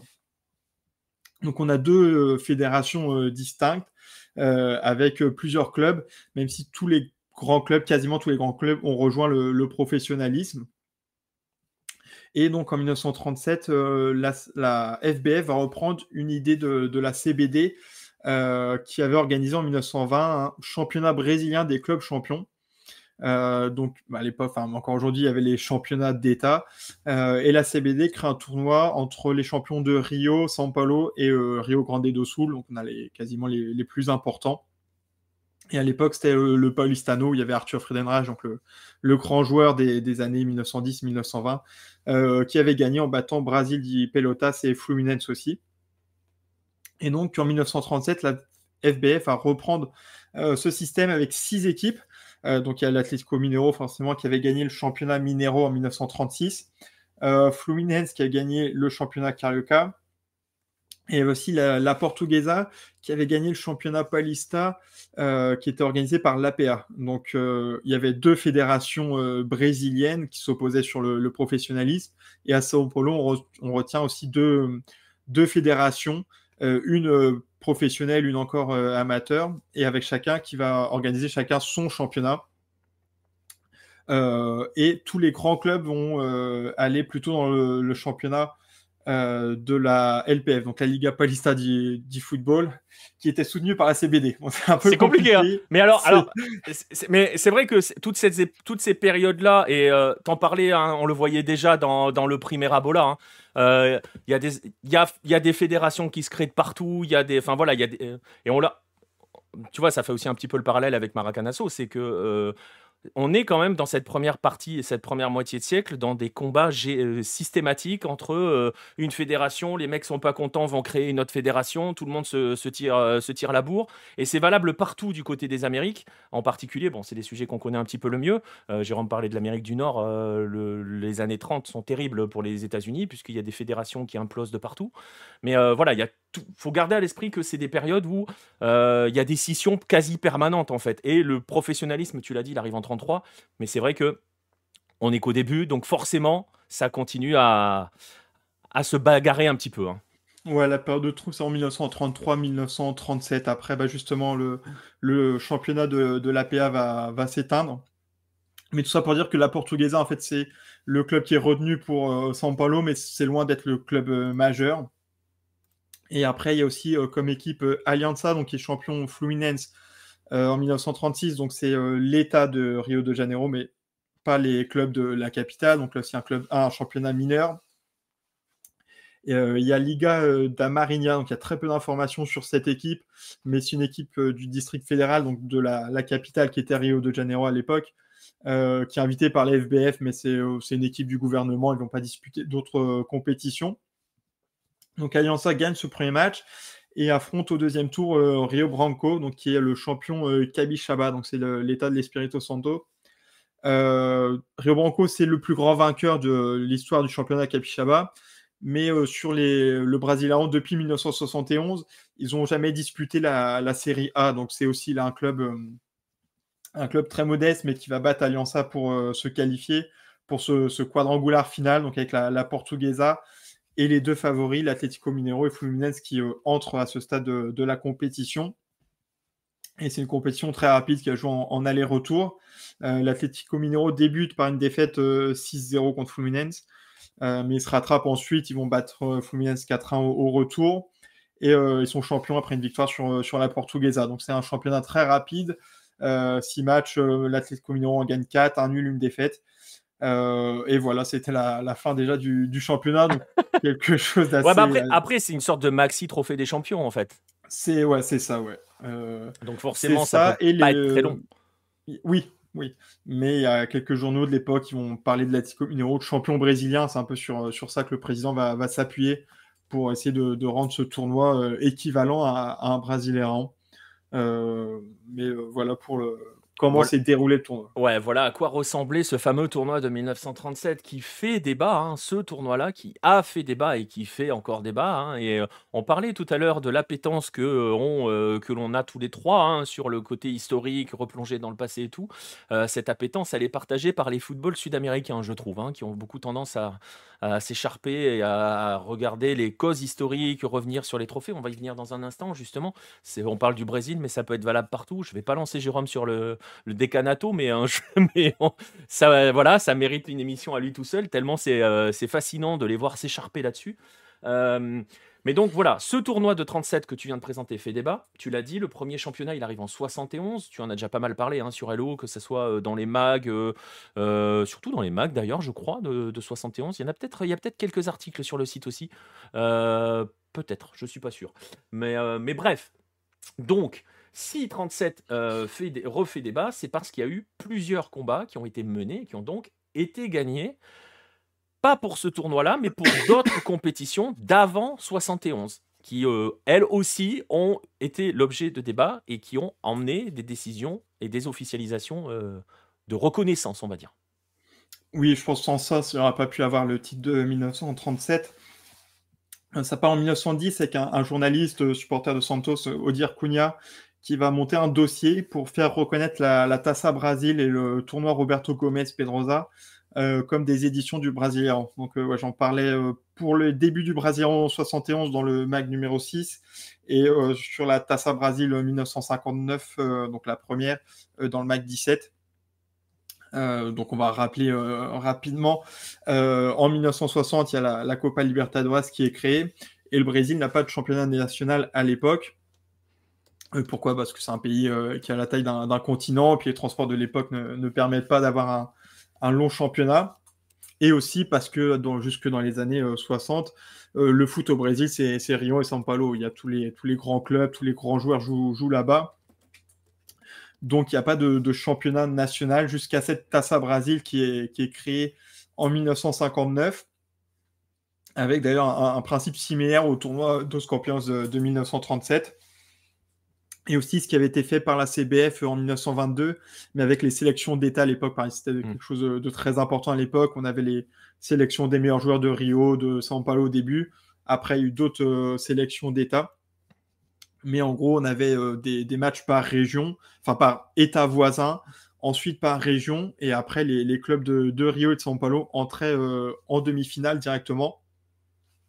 C'était le, fonctionnement de la compétition qui avait du coup un désavantage, c'était de qualifier un seul euh, représentant par État, comme c'était le, champion euh, d'État. Donc, comme tous les grands clubs étaient à, Rio et São Paulo, ça, ça excluait beaucoup de, clubs. Euh, ensuite, en, 1966, pardon, il y a trois facteurs qui vont changer le, foot brésilien. Il y a d'abord bah, l'élimination au premier tour à la, Coupe du Monde, qui, était, qui était une surprise, mais le, Brésil est, dépassé par, les autres footballs, j'en parle dans, le dernier mag. il y a aussi Santos qui avait remporté les, cinq dernières Tassa Brasil, donc cette, compétition nationale, qui en 66 est battu 6-2 par, par Cruzeiro en finale aller. Donc pareil, c'est une révolution. J'en parle dans le Mac 19 ce coup-ci. Et puis enfin, les, moyens de transport et l'avion qui vont se développer. Donc il y a toute une remise en question du, football brésilien et un nouveau tournoi qui va être créé, donc le, tournoi Roberto Gomez Pedrosa, qui est créé en, 1967. Euh, là, il reprend le principe du tournoi Rio São Paulo, euh, qui était un tournoi avec 10 clubs seulement, 5 euh, de Rio et 5 à, São Paulo, donc qui était un tournoi très, très prestigieux et très disputé parce que bah, il y avait tous les, tous les grands talents qui, qui jouaient dans ces clubs-là. Et d'ailleurs, le tournoi Roberto Gomez Pedrosa, début, va être organisé encore par les fédérations de Rio et de São Paulo, mais ils vont inviter les, deux grands clubs de Belo Horizonte, donc Cruzeiro et, et l'Atlético Mineiro, et de Porto Alegre, l'Inter et, et, euh, Grêmio, pardon, et aussi euh, Parana. Euh, donc ça va devenir le tournoi le plus important national parce que bah, il y a justement tous les, tous les grands clubs et la Tassa Brasil va disparaître en, en 68 D'ailleurs, Palmeiras et Santos qui vont pas la disputer par manque d'intérêt sportif. Donc euh, forcément, à partir de là, ça, a annoncé la, fin de la compétition. Et on se retrouve seulement euh, avec le tournoi Roberto Gomez Pedrosa euh, qui va être disputé jusqu'en 70. Où là, on a une formule assez simple pour une fois, où on a 20 clubs de 7 États différents avec une première phase où tout le monde euh, s'affronte et puis un cadre quadrangular final comme le, Brésil aimait bien le, faire à l'époque. Là, ça commence à ressembler à quelque chose de. ça commence véritablement à prendre des, des airs de championnat. On n'est plus à 6, on est à 20, on a tout le monde qui s'affronte. Bon, ça commence à prendre en masse, quoi. Ouais, puis sept états différents, donc forcément, c'est pas tout le Brésil, mais au niveau du foot, on a quand même déjà. tu, euh, tu, concentres toutes les puissances du foot brésilien de l'époque, quoi. Ouais, donc on a vraiment un. Et puis, oui, une formule de, championnat. Donc, c'est vrai que ça ressemble beaucoup à, un championnat. Et euh, donc, ça, se joue jusqu'en 70. Et ensuite, euh, il y a le premier championnat national de, clubs, en 71, du coup. On y arrive, enfin. Euh, mais au final, il n'y a pas de, grands changements par rapport au, tournoi Roberto Gomez Pedrosa. C'est plus au final un changement de nom. Donc, encore, ça fait partie du, du programme d'intégration nationale euh, à l'époque euh, du, dictateur euh, Médici.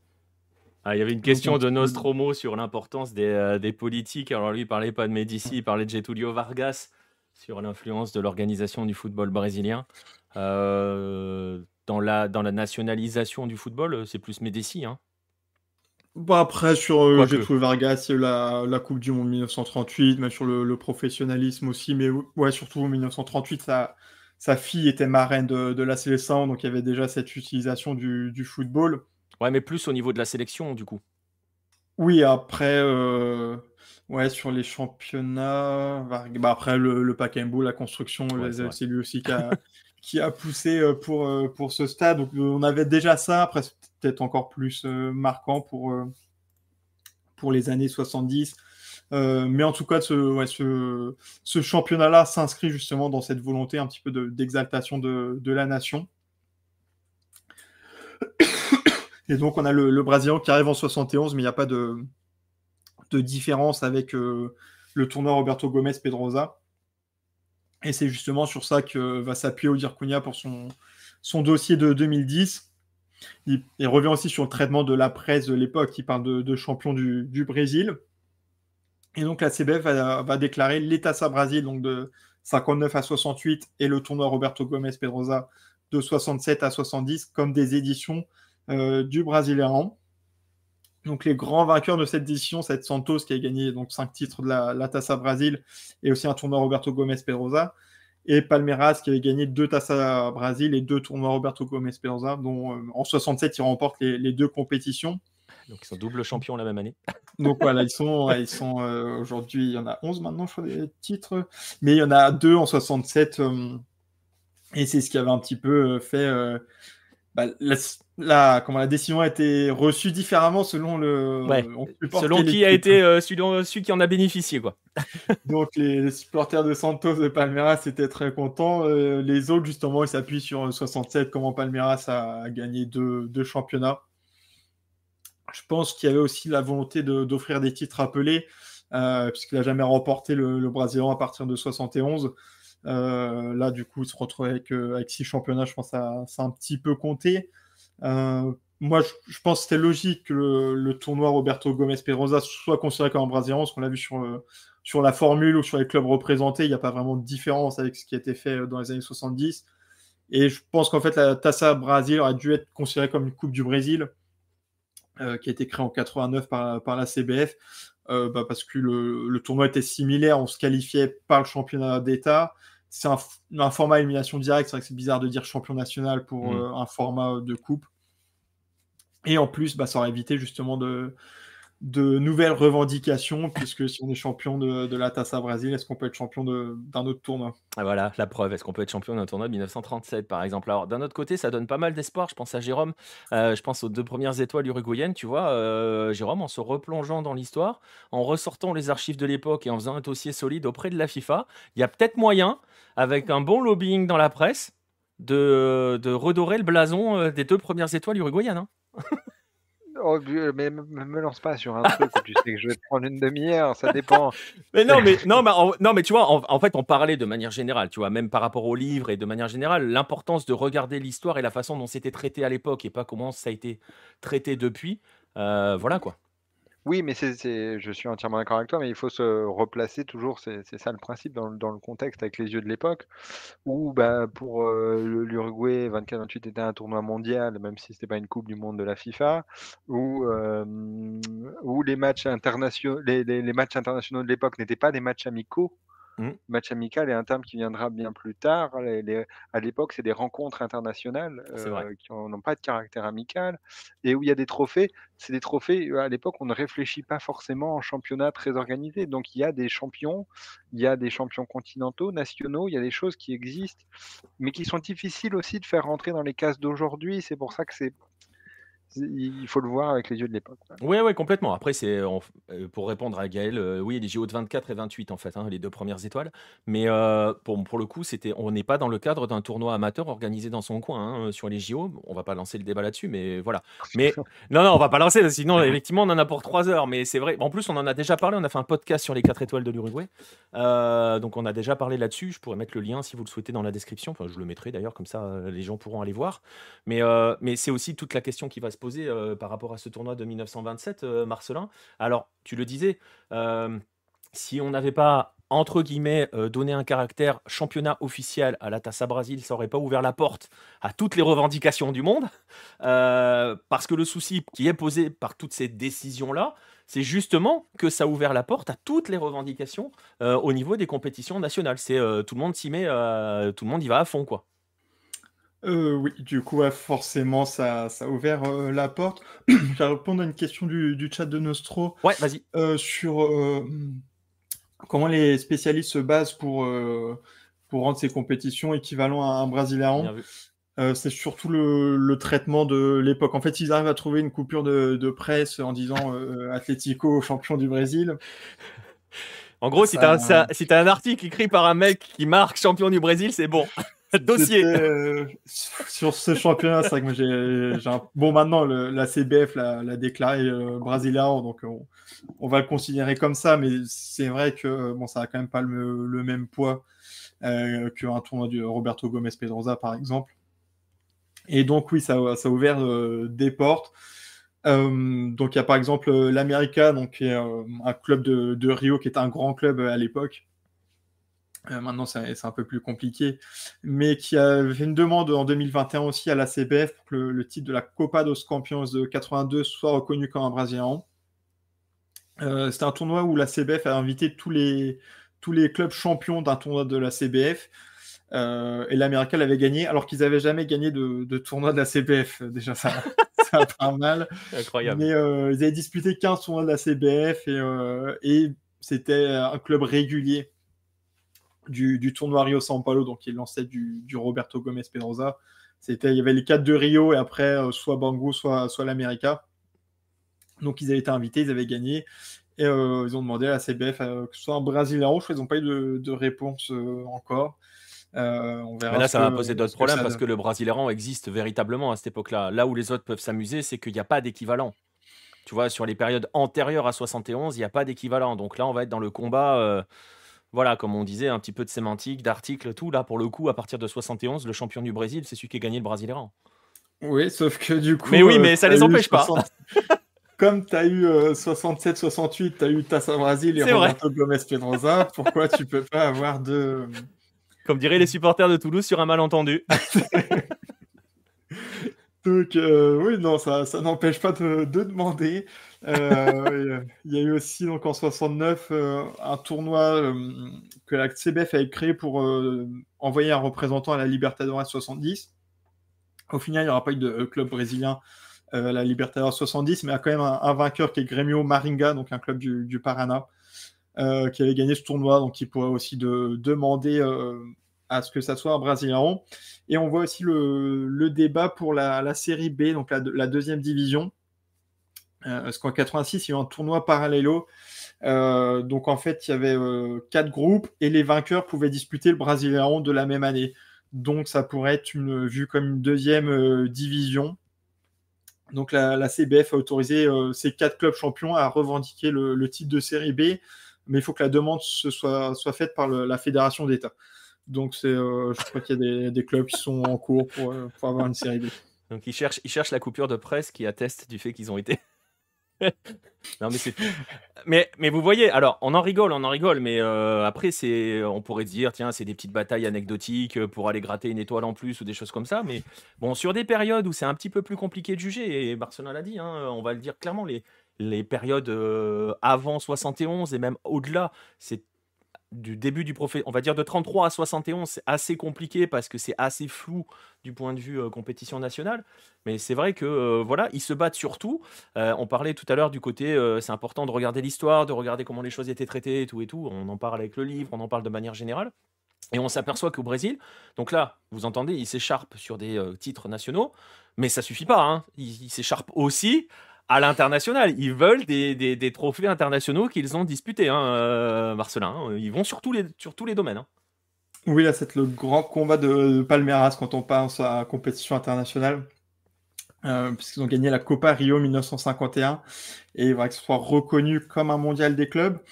Alors pour les supporters, c'est le cas parce qu'en 2014, il y a eu le comité exécutif de la FIFA qui a fait de la Copa Rio, là, ouvrez les guillemets, première Coupe mondiale de clubs. Donc euh, ça, serait, euh, ça serait un mondial. mais par contre, en 2017, la FIFA avait accepté la proposition de la Comebol qui reconnaissait la Coupe intercontinentale, donc l'affrontement entre le vainqueur de la Copa Libertadores et la, Coupe des clubs champions comme un mondial des clubs, ce qui me semble assez logique. Euh, et en même temps, la FIA a dit qu'ils n'attribuaient pas le même caractère à la Copa Rio 1951. Euh, euh, Infantino a même déclaré en 2019 pour les, les miracles, demander à quelqu'un d'autre à propos de l'officialisation de, de, ce titre. Infantino en français leur a dit démerdez-vous. Mais il y a toujours cette question du, vocabulaire, de comment on considère les choses, puisque bah, euh, Palmeiras a, joué depuis le, vrai mondial des mm. clubs, on va dire. Et euh, FIFA a qualifié euh, Palmeiras de premier champion intercontinental mondial de clubs. donc c'était ils étaient qualifiés, mais c'était pas un mondial des clubs. Donc même la, FIFA ne sait pas trop comment se positionner. Bah, en fait, en fait, le souci, il est là. Le souci, alors on en rigole, hein, on voit que tout le monde s'amuse à venir réclamer des titres euh, parce qu'il a gagné un tournoi, machin. Alors on caricature un peu. hein, sur le côté, il a gagné un petit tournoi, il se dit tiens, ça va me faire un titre en plus. Mais ça aussi euh, profite du fait que les instances, euh, il y a la CBF d'un côté, là on parle de la FIFA, euh, les instances aussi entretiennent ce flou concrètement en fait. Et c'est pour cela que tout cela est possible, que ces, débats existent encore. on parle de l'Atlético Minero, c'est il y a presque un siècle maintenant. Donc les débats existent encore maintenant. Et d'ailleurs, ces débats-là, ils sont récents en fait, finalement. Mmh. Oui, bah, comme on l'a vu, la, décision de la FIFA, c'était 2017. Après, je pense du coup, ils ont un petit peu fermé le dossier de leur côté. Il y aura juste la Coupe intercontinentale qui est mondiale des clubs. Et c'est vrai que si tu dis Copa Rio 1951, c'est aussi un mondial, bah, derrière, c'est déjà le cas. Tu as, Fluminense qui a remporté la compétition l'année suivante, qui est déjà plus du tout le même poids, mais ils l'ont remporté, donc ça sera aussi un, mondial. Euh, et puis tu as Botafogo sur euh, le site officiel où ils se considèrent comme triple champion mondial, euh, puisqu'ils ont remporté trois ah titres de, la Pequena Taça do Mundo à Caracas, qui, qui est un tournoi prestigieux, mais mais c'est pas un, mondial des clubs. Et ça, qui était un embryon d'idée, enfin qui était l'idée, qui était la graine qui a planté l'idée des compétitions mondiales, clairement. Mais c'est vrai. Et d'ailleurs, hein, Fluminense, Palmeiras 51, Fluminense 52, vous les croiserez hein, dans le livre Maracanazo parce que vous verrez que c'est euh, une des conséquences de ce, de ce Maracanazo, euh, euh, cette, cette Copa Rio. Mmh. Et bah, du coup, justement, sur, sur la FIFA, la, la Commonwealth un peu réagit pareil avec un autre tournoi précurseur qui était le, le c'est Copa dos Campeões, je crois, de 1948, qui a été remporté par Vasco, où là aussi il y avait différents champions nationaux. Donc c'est aussi euh, un embryon, mais euh, donc la, la a reconnu le caractère précurseur de, cette compétition sans que ça soit une Copa Libertadores. Euh, bah, peut-être aussi pour empêcher justement, parce qu'après tu avais les, tournois de début de saison de par exemple de Santiago, Buenos Aires ou, Lima, qui étaient des tournois aussi avec que des grandes équipes. Donc pareil, tu peux dire que, que ça va être une Copa Libertadores alors que ce n'est pas le cas.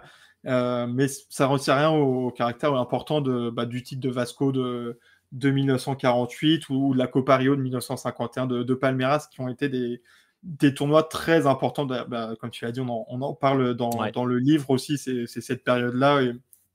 C'est des tournois importants, mais, mais ce n'est pas, euh, pas une Copa Libertadores, c'est pas un mondial des clubs. Et, euh, c'est ça. Et je pense que le, Brésilien de 1937 de l'Atlético Mineiro, tu, tu mets un astérisque dessus. Ouais, c'est ça. On peut, elle est un peu, un peu, bizarre. Ben voilà, vous voyez à quel point c'est aussi important. Euh, vous voyez que ces débats, euh, ces débats continuent. Euh, voilà, je vois ton message, Witch Doctor. Merci beaucoup pour ce message. bonsoir, le bonsoir le chat, dit-il. bonsoir Nico et Marcelin. Un petit passage en coup de vent pour vous remercier de l'excellent travail. Le, le livre est précommandé. J'ai hâte de le lire. Vaila Brasil. Merci à toi, merci pour ce message et merci pour la précommande. Euh, voilà, vous voyez que sur ce, sur ce plan-là, donc voilà, l'Atlético Minero maintenant à 3 étoiles. ils ont bien communiqué dessus, hein, ils, ont, ils ont bien tweeté là-dessus. Euh, j'avais la photo du tweet, mais je crois que j'ai oublié de la charger, donc vous la verrez pas. Je, vous la trouverez sur, le, sur, sur leur Twitter euh, d'il y a quelques semaines, hein, ça remonte un petit peu maintenant. mais voilà, et il y a ce, flou. Et, et je sens que Jérôme est déjà en train de préparer son dossier pour les deux premières étoiles de l'Uruguay. Euh, il a raison, il a raison. Euh, réhabilitons les deux premières étoiles de l'Uruguay. Mais on l'a déjà fait le dossier. Bien, bien, C'est vrai qu'en plus on l'a déjà fait. On peut l'envoyer directement à Gianni qui va nous dire démerdez-vous. Concrètement. Bref, voilà, on va passer. On a... oui. juste un truc pour rigolo, parce que tu dis on va demander à Gianni. Le, problème des deux étoiles de, l'Uruguay et d'autres compétitions comme là, c'est possiblement euh, le cas pour 1937, c'est que ce n'est pas la mmh, pour 1924-1928, ce n'est pas la FIFA directement qui a organisé. C'est vrai. Pour 1937, ce n'est pas forcément la, ce n'est pas du tout même la CBF qui a organisé. C'est vrai que si on leur demande aujourd'hui, ils disent bah c'est pas nous, c'est pas un titre brésilien de la CBF comme on le fait aujourd'hui. Ils n'ont pas complètement tort, mais ils n'ont pas raison non plus. Mais ils pourraient, ils pourraient s'en sortir en disant c'était une autre fédé, ça n'entre pas dans notre palmarès à nous, point. Et ils le font pour toute compétition antérieure à eux. Oui, mais est-ce que c'est est-ce que c'est est-ce que ça diminue l'impact des victoires passées? Est-ce que Bah oui, non, c'est Oui, tout un tout un débat. Non, non, mais c'est tout un débat, c'est tout un débat et c'est toute une, vous le voyez, c'est tout un parti, un côté flou, entretenu et je sais pas si on peut dire entretenu, mais parce que c'est flou concrètement. On est sur, sur l'espèce sur une sorte de zone grise qui fait que, ben voilà, tout le monde peut tenter sa chance. Certains ce n'est pas flou, c'est différent. C'est différent, voilà, merci. On va dire ça, c'est différent. Voilà. On va clore cette page Brésil. On va partir euh, en Uruguay. On était au Brésil, on va aller en Uruguay. En même temps, c'est un peu le thème de la sujet. Sinon, il y a le titre de champion de France amateur de l'OM en 29. Ah, mais c'est amateur. amateur. Ah, on parle pas de foot amateur, hein, on parle de foot pro. Hein. Attention. Euh, qui apparemment ne compte pas. Oui, mais euh, l'OM en 1929, ce n'était pas des amateurs. Ils étaient tous professionnels. oui, mais le premier championnat français professionnel, c'est 31. Oui, mais c'est d'une stupidité sans nom de dire ça. ah, mais après, je, suis désolé, mais parce que quand tous les, qu'est-ce qu'on appelle amateur, qu'est-ce qu'on appelle professionnel? Tous les joueurs en France sont payés depuis euh, les années 10. Ça, on est d'accord. Mais là, le premier championnat de France professionnel, et, c'est la même histoire. Euh, quand Marcelin dit le football professionnel arrive en 33, euh, il en parle aussi beaucoup dans Primera Bola. On s'aperçoit qu'il y a un moment que c'est professionnel. Hein. Euh, voilà. Et, et c'est pas à toi que je vais l'apprendre avec l'Uruguay aussi, où ça fait un petit moment que tout le monde est pro. Mais dans les statuts, dans les statuts, le palmarès professionnel en France démarre en 31 ou 32. Euh, point. Avant, c'est amateur. Donc et, là. Et, c'est con. Et je vais même te pousser plus loin la logique. Avant, euh, quand le, le, championnat français devient vraiment un championnat de France, parce qu'avant c'est des ligues et une Coupe de France. Mais les vainqueurs de Coupe de France, qui était le titre jusqu'à 1926-1927, qui était le titre qui faisait vibrer tout le monde, où on était champion de France quand on avait gagné la Coupe de France. Il faut l'avoir en tête. Je dis pas que c'est, je, dis pas qu'il faut le rentrer dans le palmarès. Je dis pas qu'il faut. Mais c'était la compétition de l'époque. Il n'y en avait pas d'autre au niveau national. Le vainqueur de la Coupe de France était champion de France. C'était ah, indiqué comme ça dans la presse de l'époque. C'est vrai. Le, donc, il voilà, il faut l'avoir en tête. Et l'OM bat 7 euh, en 1924 euh, lors d'une finale mémorable, où les gens reprochent que dans cette finale, ce soit deux villes de la même ligue, c'est-à-dire de la Ligue Méditerranée. Ouais. non, non, mais ça s'entend. Mais après, sur la Coupe de France, tu peux t'en sortir. Euh, je vois le message de Gaël qui dit la Coupe de France, c'est amateur, faut pas les compter. Bah, la Coupe de France peut encore aujourd'hui être gagnée par un amateur. Donc, bon, ça arrivera jamais. Mais dans l'absolu, dans les faits, tu peux. Donc, euh, mais de là, est-ce qu'on doit reconnaître les premières Coupes de France comme des championnats de France? Euh, Marcelin vous a parlé de la Tassa Brasil. Hein? Et, voilà, c'est le, le vrai débat. C'est le vrai Est-ce qu'on doit prendre certaines équipes de nationales aujourd'hui en France comme des équipes amateurs? Ouh là là, alors là, si tu me lances dessus, mec. Ah bah voilà, non mais il faut qu'on sache qu'à un moment donné, il faut du. Voilà, on est d'accord, on est d'accord. Il y a, y, a, y, a, y a, cette zone grise qui est difficile. Euh, il n'y a, pas de, a pas de réponse en fait claire. Et c'est aussi pour cela qu'il il y a ces débats-là, concrètement, qui existent et qui continuent d'être entretenus. Et bon courage aux instances. Mais en fait, il faudrait aussi que les instances prennent leurs décisions, hein, concrètement, plutôt que, tu vois, que euh, nous la fasse à la Gianni, euh, démerdez-vous. Non, ils prennent une décision. Elle sera contestée quoi qu'il arrive. Donc, euh, donc voilà, prenez, prenez la décision. Et cherchez pas des pirouettes ou voilà. Mais bon, bref, c'est comme ça. C'est comme ça. On va passer en Uruguay? Enfin, en Uruguay. On va être en France un petit peu quand même. Non, allez voir. on va sur, la côte méditerranéenne. Ouais, on va rester sur la côte méditerranéenne. Monsieur était à 7 à Marseille. Je ne sais pas s'il y a un message caché. Hein. J'ai l'impression que Jérôme se sent pas très bien à Paris. Mais allez, on file, on file en Uruguay. Enfin, vous allez voir.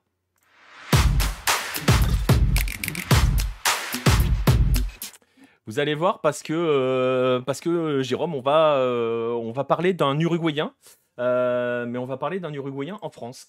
concrètement, une fois n'est pas coutume, tu vas nous parler, Jérôme, de football français.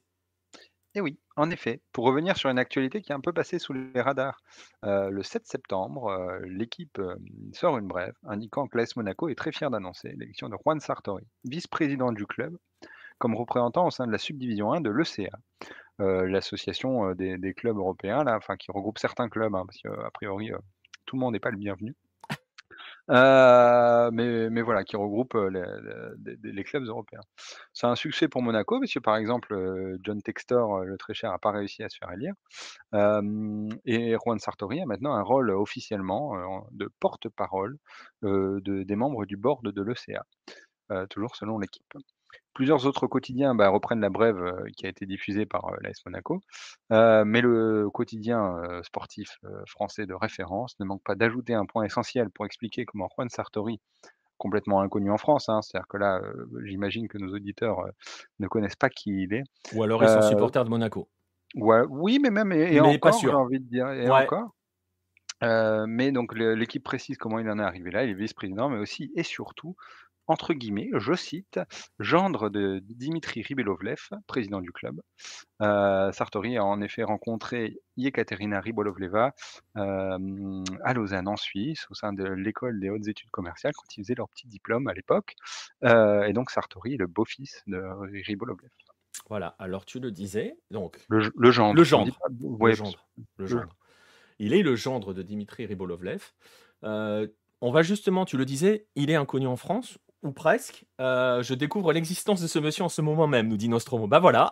Alors tu vas voir qui est ce monsieur parce que justement, euh, on va en profiter de cette nouvelle pour parler de ce garçon dont on ne sait pas grand-chose en France, dont on parle pas beaucoup en France parce qu'il a l'air d'être assez discret, quoique il est quand même bien connu en Uruguay, ce garçon. Oui, parce que le garçon est uruguayen, donc hein, c'est pour ça que j'en parle euh, à l'heure actuelle. Euh, et donc la question, c'est en effet qui est Juan Sartori? Euh, En espagnol, qui est Juan Sartori? Et avant 2018, en Uruguay, même lui était un peu un inconnu, jusqu'à ce qu'il se présente à la primaire du Parti national pour l'élection présidentielle. Alors l'Uruguay a la même spécificité que l'Argentine, c'est-à-dire qu'il y a des primaires institutionnalisées qui sont organisés où chaque parti fait élire dans une sorte d'avant-premier tour, de, de, de, prequel à les élections présidentielles, le candidat pour chaque parti. Donc fin 2018, quand il annonce sa candidature pour le Parti national, tout l'Uruguay bruisse du nom de Sartori et il fait, il fait le tour des plateaux télé avec en bandeau qui est Juan Sartori. Avec son statut de Golden Boy, il séduit une partie de la population en se présentant comme un libéral un libéral de droite, donc candidat au Parti national qui est plutôt de droite. Et après avoir fait sensation et menacé pendant un temps de créer une surprise, il échoue quand même loin derrière un, héritier de la politique uruguayenne, Luis Lacache Pao, le fils de Luis Alberto Lacache, qui était président dans les années 90. Euh, Lacache Pao d'ailleurs finit par gagner l'élection présidentielle, qui est le premier gouvernement de droite après 15 ans de domination de la gauche en Uruguay. Euh, je termine la parenthèse sur la politique uruguayenne, rassurez-vous, parce que je sens que je vais vous perdre rapidement. Euh, mais, le fait est que Non, mais en fait, le fait est que le jeune parvenu perd quand même face à l'héritage. Euh, tu vois, il reste quand même encore. Oui, mais il, est il termine deuxième pour le Parti national, il fait 20% des voix de mémoire. Il termine devant le défunt depuis, qui a été ministre de l'Intérieur, puis il est malheureusement décédé, Jean-Jacques Larrañaga, qui était un pilier de la politique uruguayenne. Et donc c'était quand même une vraie surprise et tout le monde en a parlé, véritablement. il a bousculé le paysage politique uruguayen concrètement. Voilà, un petit peu ça. Et pendant toute sa campagne, on lui demande s'il est là pour rester, parce que personne ne le connaissait d'avant. Il a quitté l'Uruguay jeune, donc personne ne le connaît. Et lui dit oui, il est là pour rester. Il est pris au, pris au piège ou au prix au jeu. Il est candidat à un poste de sénateur durant l'élection générale qui a lieu en même temps que l'élection présidentielle. D'ailleurs, il est élu, confortablement sénateur et devient le plus jeune sénateur de la législature du haut de ses 38 ans, euh, dans un rôle de sénateur en Uruguay qui a quand même une vraie valeur. Hein. C'est une chambre haute qui a un petit peu plus de pouvoir qu'en France, euh, euh, où ça a plus des allures de maison de retraite. Pour le coup, en Uruguay, ça, a un petit peu plus de pouvoir. Encore des balles perdues qui partent. On va me dire à chaque live, il y a des balles perdues. Bravo, merci Jean. Oui, mais alors si tu as un sénateur, si tu as Roger Carucci qui t'appelle pour te, se plaindre, tu, me l'envoies. Je ne sais pas si quelqu'un va savoir qui est Roger Carucci dans ce live. Je ne euh, sais pas si un sénateur regarde ce live. non, voilà. Donc a priori, on est tranquille. On est peinard. on, peut y aller. Y Raquel Garrido qui était une célèbre suiveuse et, députée, donc elle n'est pas concernée. Non, et puis on s'est déjà pris la tête tous les deux sur Twitter, donc c'est bon. Donc, euh, bah, mais bah, ce qui est rigolo en Uruguay, c'est que depuis qu'il est élu sénateur donc à l'élection générale de fin 2019 et qu'il rentre euh, pour la législature qui démarre tout début 2020, bah, la presse fait régulièrement écho de ses absences. Alors pendant longtemps, il a eu l'excuse du Covid un petit peu. Euh, là, c'est beaucoup moins le cas depuis quelques temps. Et ce qui est d'étonnant, c'est que pendant l'une d'elles, l'une de ses absences, il est remplacé par euh, sa mère, qui est l'une de ses suppléants. Euh, il faut dire que Sartori bon, bah, voyage beaucoup donc entre l'Uruguay, Monaco, mais aussi l'Angleterre, puisqu'il est toujours propriétaire d'une participation au sein du club de Sunderland, qu'il a acheté il y a plusieurs années, auquel il a fait venir notamment Kirill Louis Dreyfus, le, le, fils du défunt également, Robert Louis Dreyfus, qu'il a rencontré dans, dans, le sud de la France, dans les cercles russo-méditerranéens. Donc on le voit, il est arrivé en Uruguay, il a bousculé un petit peu, il a tenté de renverser l'ordre établi. Je ne sais pas s'il avait véritablement, euh, s'il y croyait véritablement. Enfin, il n'est pas passé loin quand même. Mais au final, on s'aperçoit quand même que, bah, un petit peu comme voilà, les gens, les gens ne savent pas forcément qu'il est à Monaco aujourd'hui. Les gens ne l'ont pas vu venir en Uruguay. Euh, donc, on se retrouve avec le vice-président de l'AS Monaco qui a été candidat au, au primaire pour la présidence uruguayenne, qui est aujourd'hui sénateur et qui finalement a un parcours bah, pas trop connu, pas trop médiatisé. Il appuie pas trop là-dessus parce que euh, il pourrait, ça pourrait être un symbole de réussite, mais il le fait pas. Euh, parce qu'on parle quand même d'un gamin, enfin un gamin, oui, enfin non, il est plus jeune que moi. Alors faut que j'arrête de penser que les gens qui sont plus jeunes que moi sont des gamins. Il y en a beaucoup, beaucoup trop, qui sont plus jeunes que moi. Il a, il a quoi Même pas 40 ans, 38 ans il a 38, 39 euh, Tu me prends au débeauté, oui. Je crois, je crois que c'est ça. Je crois que c'est ça. et, et il a pas trop appuyé sur son parcours. Alors justement, c'est quoi son parcours à ce, à ce, à ce garçon, à ce Juan Sartori? Ben, sa biographie a un lien avec la France déjà, puisque Sartori est, sans doute francophone. Euh, peut-être nous écoute-t-il hein, lui-même. Euh, la bise. Euh, mais bon, étrangement, j'ai pas retrouvé aucune interview qui permet de le confirmer. Mais Sartori a beaucoup voyagé, puisqu'il a quitté l'Uruguay quand il avait 12 ans. Sa mère voyageant beaucoup, puisque sa mère notamment, qui est a fortiori francophone, puisqu'elle a un doctorat en sociologie de l'EHESS, euh, qui est l'école des études sociales de mémoire, j'ai oublié le deuxième S, qui est un institut qui fait partie de la Sorbonne. et sa mère a obtient son doctorat avec un, sujet de sociologie sur la corruption en politique. Trois petits, silence. Après ce passage en France, après, C'est bon, on peut y aller. Après ce passage en France, donc c'est d'où le fait qu'il doit être très euh, probablement francophone. Oui. Sartori continue ses études en Suisse. Euh, c'est là qu'il passe ses diplômes de commerce donc à Lausanne et qu'il rencontre celle, euh, sa chère et tendre, qui deviendra son épouse. Euh, très jeune, à la sortie des études, ils font une société de gestion d'actifs, Union Agricultural Group, euh, qui effectue des investissements en Uruguay, dont le premier, qui est célèbre, donc il en a parlé dans sa campagne, qui a investi dans 300 000 dollars dans, une usine, enfin une usine à champ pour fabriquer des, produire pardon, des myrtilles, euh, avant, de se, avant de se diversifier dans diverses activités agricoles, dont la production de cannabis, profitant de l'ouverture du marché lancé par la gauche en Uruguay, euh, bah, qui, a, légalisé le cannabis euh, dans les années 2015-2016. Et il n'y avait que deux sociétés, hein, je crois, qui pouvaient hein, à ce moment-là l'exploiter, hein, il me semble, à ce moment-là. Oui, bah, c'est-à-dire que l'État, le principe de la légalisation, c'est que l'État donne des licences, que ce soit aux exploitants ou aux consommateurs, d'ailleurs, puisqu'il faut avoir, il faut adhérer, enfin, faut donner ses informations personnelles pour avoir une sorte de compte, pour prouver qu'on n'en achète pas trop. Euh, donc c'est le principe. bon, la question demeure sur l'origine des fonds investis par sa société, mais il en profite dans tous les cas pour se faire un nom, et c'est avec ce background qu'il se présente à la primaire du Parti national, avec ce statut de Golden Boy.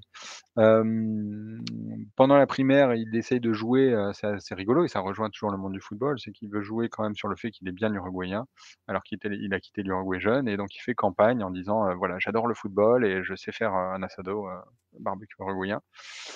donc il, explique bien les, deux piliers sur lesquels il, explique pour lesquels il est uruguayen, c'est qu'il sait jouer au football, ou il adore ça du moins, et il sait faire des barbecues. Bah, c'est vrai que dans un sens, c'est quand même assez surprenant. Lui, en gros, parce que tu l'as dit, hein, sa maman a passé, a, passé ses, diplômes en France. Lui, il a fait ses études en Europe, hein, très vraisemblablement. Toutes, je sais pas, mais une grande partie. On se demande presque ce qu'il vient faire en Uruguay, quoi. Oui, alors il y a déjà des activités, euh, qui sont pas si florissantes que ça d'ailleurs, hein, mais, euh, il y a déjà des activités et a priori, elle a volonté quand même à un moment donné, une ambition personnelle, euh, peut-être démesurée, puisqu'il y a un certain échec derrière, mais, un échec, il est sénateur à 38 ans, hein, donc, échec, tout est très relatif. Ça. C'est d'ailleurs, enfin, pour le coup, c'est sa seule activité qui est déclarée selon sa déclaration de revenus en tant que sénateur. C'est justement son métier de sénateur. Donc c'est devenu sa seule activité. Et, et, voilà. Pourquoi le retour en Uruguay? Bah, A priori, parce qu'il y avait quand même une volonté personnelle, peut-être un ego hein, qui le, pousse à un moment donné à, vouloir chercher le pouvoir. Alors c'est là où c'est intéressant, hein, tu l'as dit, sa seule activité déclarée au pays, hein, puisqu'en tant que sénateur, il doit déclarer ses activités, ses revenus, c'est d'être sénateur. donc à Monaco, il est bénévole, ou c'est pas une activité, je vous laisse choisir. Euh, je vous laisse le l'écart, c'est rien. Euh, on ne sait pas ce qu'il fait. Enfin voilà, voilà. La photo que vous voyez où il est à Monaco, c'est peut-être juste un supporter qui est venu voir, euh, qui est venu voir le club. Je ne sais pas. Bref, mais se pose deux questions par rapport à tout ce que l'on vient de retracer un petit peu sur, sur la trajectoire de Juan Sartori, trajectoire extrêmement rapide, hein, il faut quand même le rappeler, 38 ans, déjà sénateur, vice-président de l'AS Monaco, on est sur une trajectoire, j'ai il y en a beaucoup qui nous diraient que c'est le, rêve à l'américaine, presque. je ne sais pas si on peut dire le rêve à l'uruguayenne, parce que je ne sais pas si c'est un peu euh, dans l'esprit uruguayen, tout cela. Soit, c'est une parenthèse. Se posent deux questions. La première, Jérôme, est-ce que euh, Juan Sartori a un avenir politique dans son pays eh ben, plutôt pas. Et c'est là que c'est un peu rigolo et que ça rejoint aussi un, petit peu tout, l'environnement qui l'entoure. Euh, c'est que sa carrière, politique en Uruguay a pris un coup un peu après sa nomination à l'ECA, puisqu'on rejoint l'actualité. Le 15 septembre, la presse en Uruguay reparle de Sartori en ne mentionnant pas son titre au sein de l'AS Monaco, mais en parlant de son épouse. En effet, la Suprema Corte de Justicia, la, une sorte de cour suprême, hein, même si euh, juridiquement c'est pas exactement ça, mais euh, vous avez compris le principe, la plus haute juridiction, vient de décider à la majorité que Juan Sartori doit présenter, comme tous les élus au Parlement, une déclaration sur l'honneur de son patrimoine et de celui de son épouse, puisque ça concerne lui et son épouse. Bah oui, le patrimoine familial en fait. C'est ça. L'équivalent de la haute autorité française à la transparence de la vie publique, qui, qui regroupe ces types de documents pour les députés sénateurs français et pas que, hein, pour, les, pour les ministres aussi, enfin voilà, pour tous les hommes publics en France. Mmh euh, son équivalent en Uruguay cherche à obtenir de Juan Sartori, depuis 3 à 4 ans maintenant, depuis qu'il est élu, la déclaration de lui et son épouse. Juan Sartori a beau expliquer que son contrat de mariage de droit suisse est un contrat de séparation stricte des biens, qu'il ne connaît pas le patrimoine de son épouse, ni ne veut le lui faire certifier, la Cour n'en a cure. Juan Sartori s'oppose toujours à cette décision. Euh, il explique que par féminisme, il ne veut ni demander ni justifier du patrimoine de son épouse. C'est magnifique cette carte. pas lui qui l'a déclaré. Il y a, pour les amateurs, euh, je on, on, pourra envoyer le lien si vous voulez. Il y a une décision de justice donc de la Cour suprême de 90 pages qui est magnifique d'ironie mordante et en même temps la décision est à trois voix contre deux, hein, donc ça se joue à pas grand chose. Euh, mais qui décrit par le menu tous les arguments juridiques sur le respect de la vie privée, sur le, féminisme, etc., le XXIe siècle. Et c'est assez rigolo à lire. et voilà, bon, c'est un petit peu de la mauvaise foi malgré tout, parce que évidemment, la fortune de Yekaterina Ribolovleva vient de son père, hein, euh, que l'auteur de ces lignes ne veut pas diffamer. L'auteur de ces lignes, c'est moi. Hein, je suis en train de lire un petit texte que je m'étais préparé évidemment. Euh, donc je ne veux pas parler de Dimitri Ribolovlev, évidemment, que je respecte euh, à tout point de vue. Je vous laisse faire une recherche sur Google éventuelle.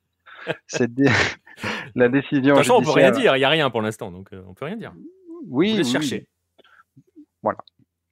Euh, donc la décision judiciaire, en, tout cas, éloigne un petit peu Sartori de, l'Uruguay parce que pour le coup, euh, c'est assez mal vécu, je pense, dans l'opinion publique euh, en général.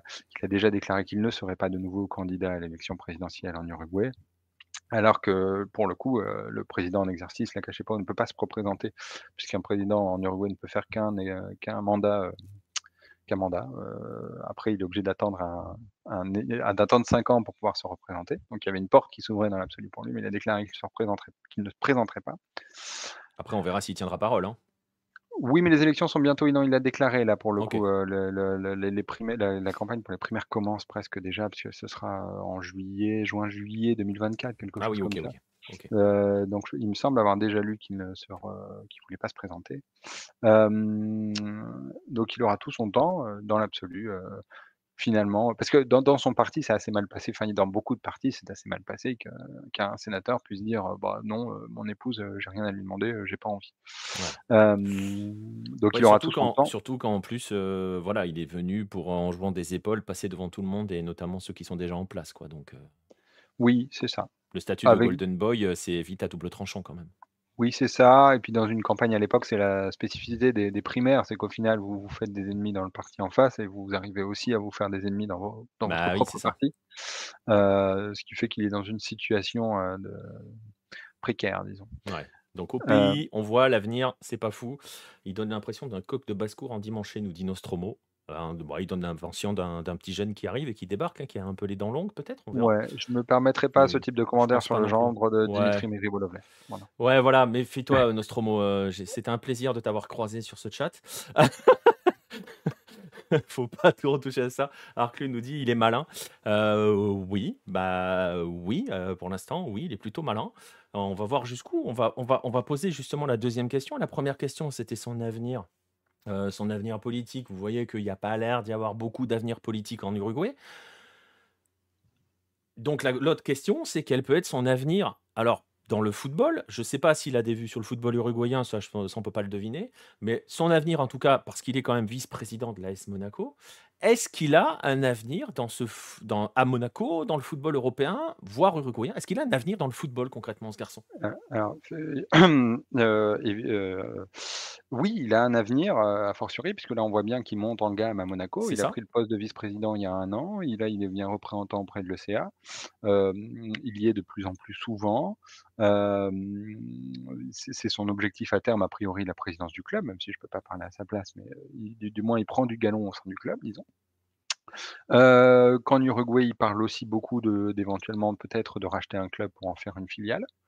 De lui ou de Monaco ou les deux ensemble, hein, parce que si lui demain devait racheter un club uruguayen qui un club uruguayen coûte à peu près, euh, trois tickets resto, hein, qu'on soit bien d'accord, c'est pas un investissement, euh, c'est pas l'investissement du siècle, mais sachant que Monaco a déjà ses filiales en Europe, le Cercle de Bruges, voilà, peut faire du Textor, en fait.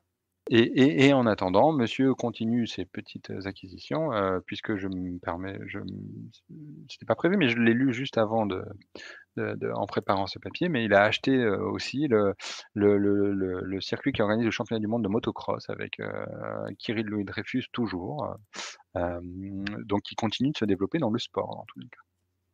Voilà. Bon, donc son avenir semble en tout cas du côté du sport. À voir ce que ça va devenir du côté euh, justement, euh, justement pardon, de, de l'AS Monaco, je me suis trompé de touche, euh, pour voir si s'il va continuer de se développer sur Monaco, si il va finir par prendre l'héritage entre guillemets à Monaco, et s'il prend la suite à Monaco, ce qu'il fera du club, on va avoir un vidéo torqué AS Monaco d'ici quelques années peut-être. Ça sera pour ton plus grand plaisir, ça, Jérôme.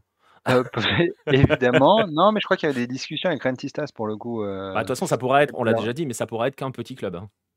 Oui, ah bah, euh, les les SAD, alors c'est petit club, ça dépend ce qu'on appelle par, euh, En termes de hein, taille. Hein, mais soi-disant qu'il y avait des négociations il y a quelques années pour que le Bayern de Munich rachète Danubio, tu vois ce que je veux dire? Il y a tout est possible. mais mais mais c'est tout à fait envisageable et dans tous les cas, le il est plutôt parti pour prendre du galon à Monaco. Encore une fois, il est vice-président et l'une des autres vice-présidentes, alors je ne sais pas si c'est vice-présidente du du board ou quoi que ce soit, mais l'une des autres vice-présidentes, c'est son épouse. Donc disons qu'ils auront la main, pour prendre des décisions, ensemble, à la table, du repas le dimanche. Donc voilà, vous en savez peut-être un petit peu plus sur le futur président de l'AS Monaco, euh, de l'AS Monaco euh, Group. Je ne sais pas comment il faudra l'appeler. On verra, on ne sait pas. Euh, mais vous voyez en tout cas ce parcours très particulier, très étrange d'un garçon très discret. Pour le coup, on peut lui laisser ça. il est très discret en tout cas chez nous. Il a été un petit peu moins à une époque, forcément une époque de primaire en Uruguay, mais voilà, c'était important de, vous parler de cet Uruguayen venu s'installer sur le rocher monégasque, euh, parce que ça pourrait aussi avoir des conséquences à terme euh, sur le football français, et pourquoi pas plus loin euh, sur le football uruguayen, puisqu'on voit qu'il est quand même assez ambitieux. Donc, sait-on jamais hein, quand même. Hein. On ne sait pas jusqu'où ça peut mener tout ça. Euh, donc voilà, voilà le, le, petit focus que Jérôme euh, voulait vous faire euh, sur Juan Sartori. Maintenant, quand vous croiserez son nom, vous saurez qui c'est.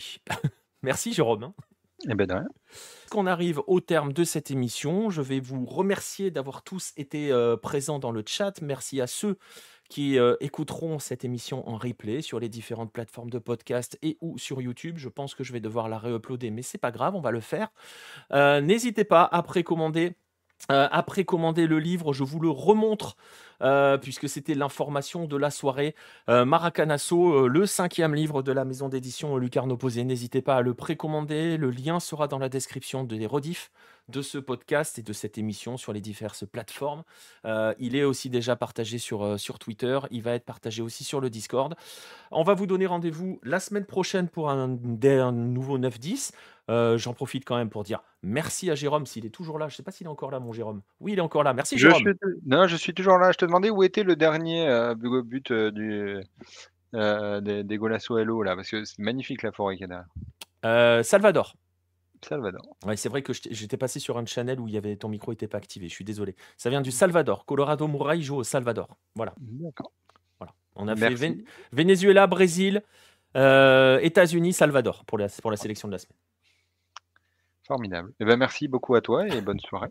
Eh ben, de même, merci à toi et merci, euh, voilà, merci à toi aussi pour le livre. N'hésitez pas à aller découvrir Maracanasso.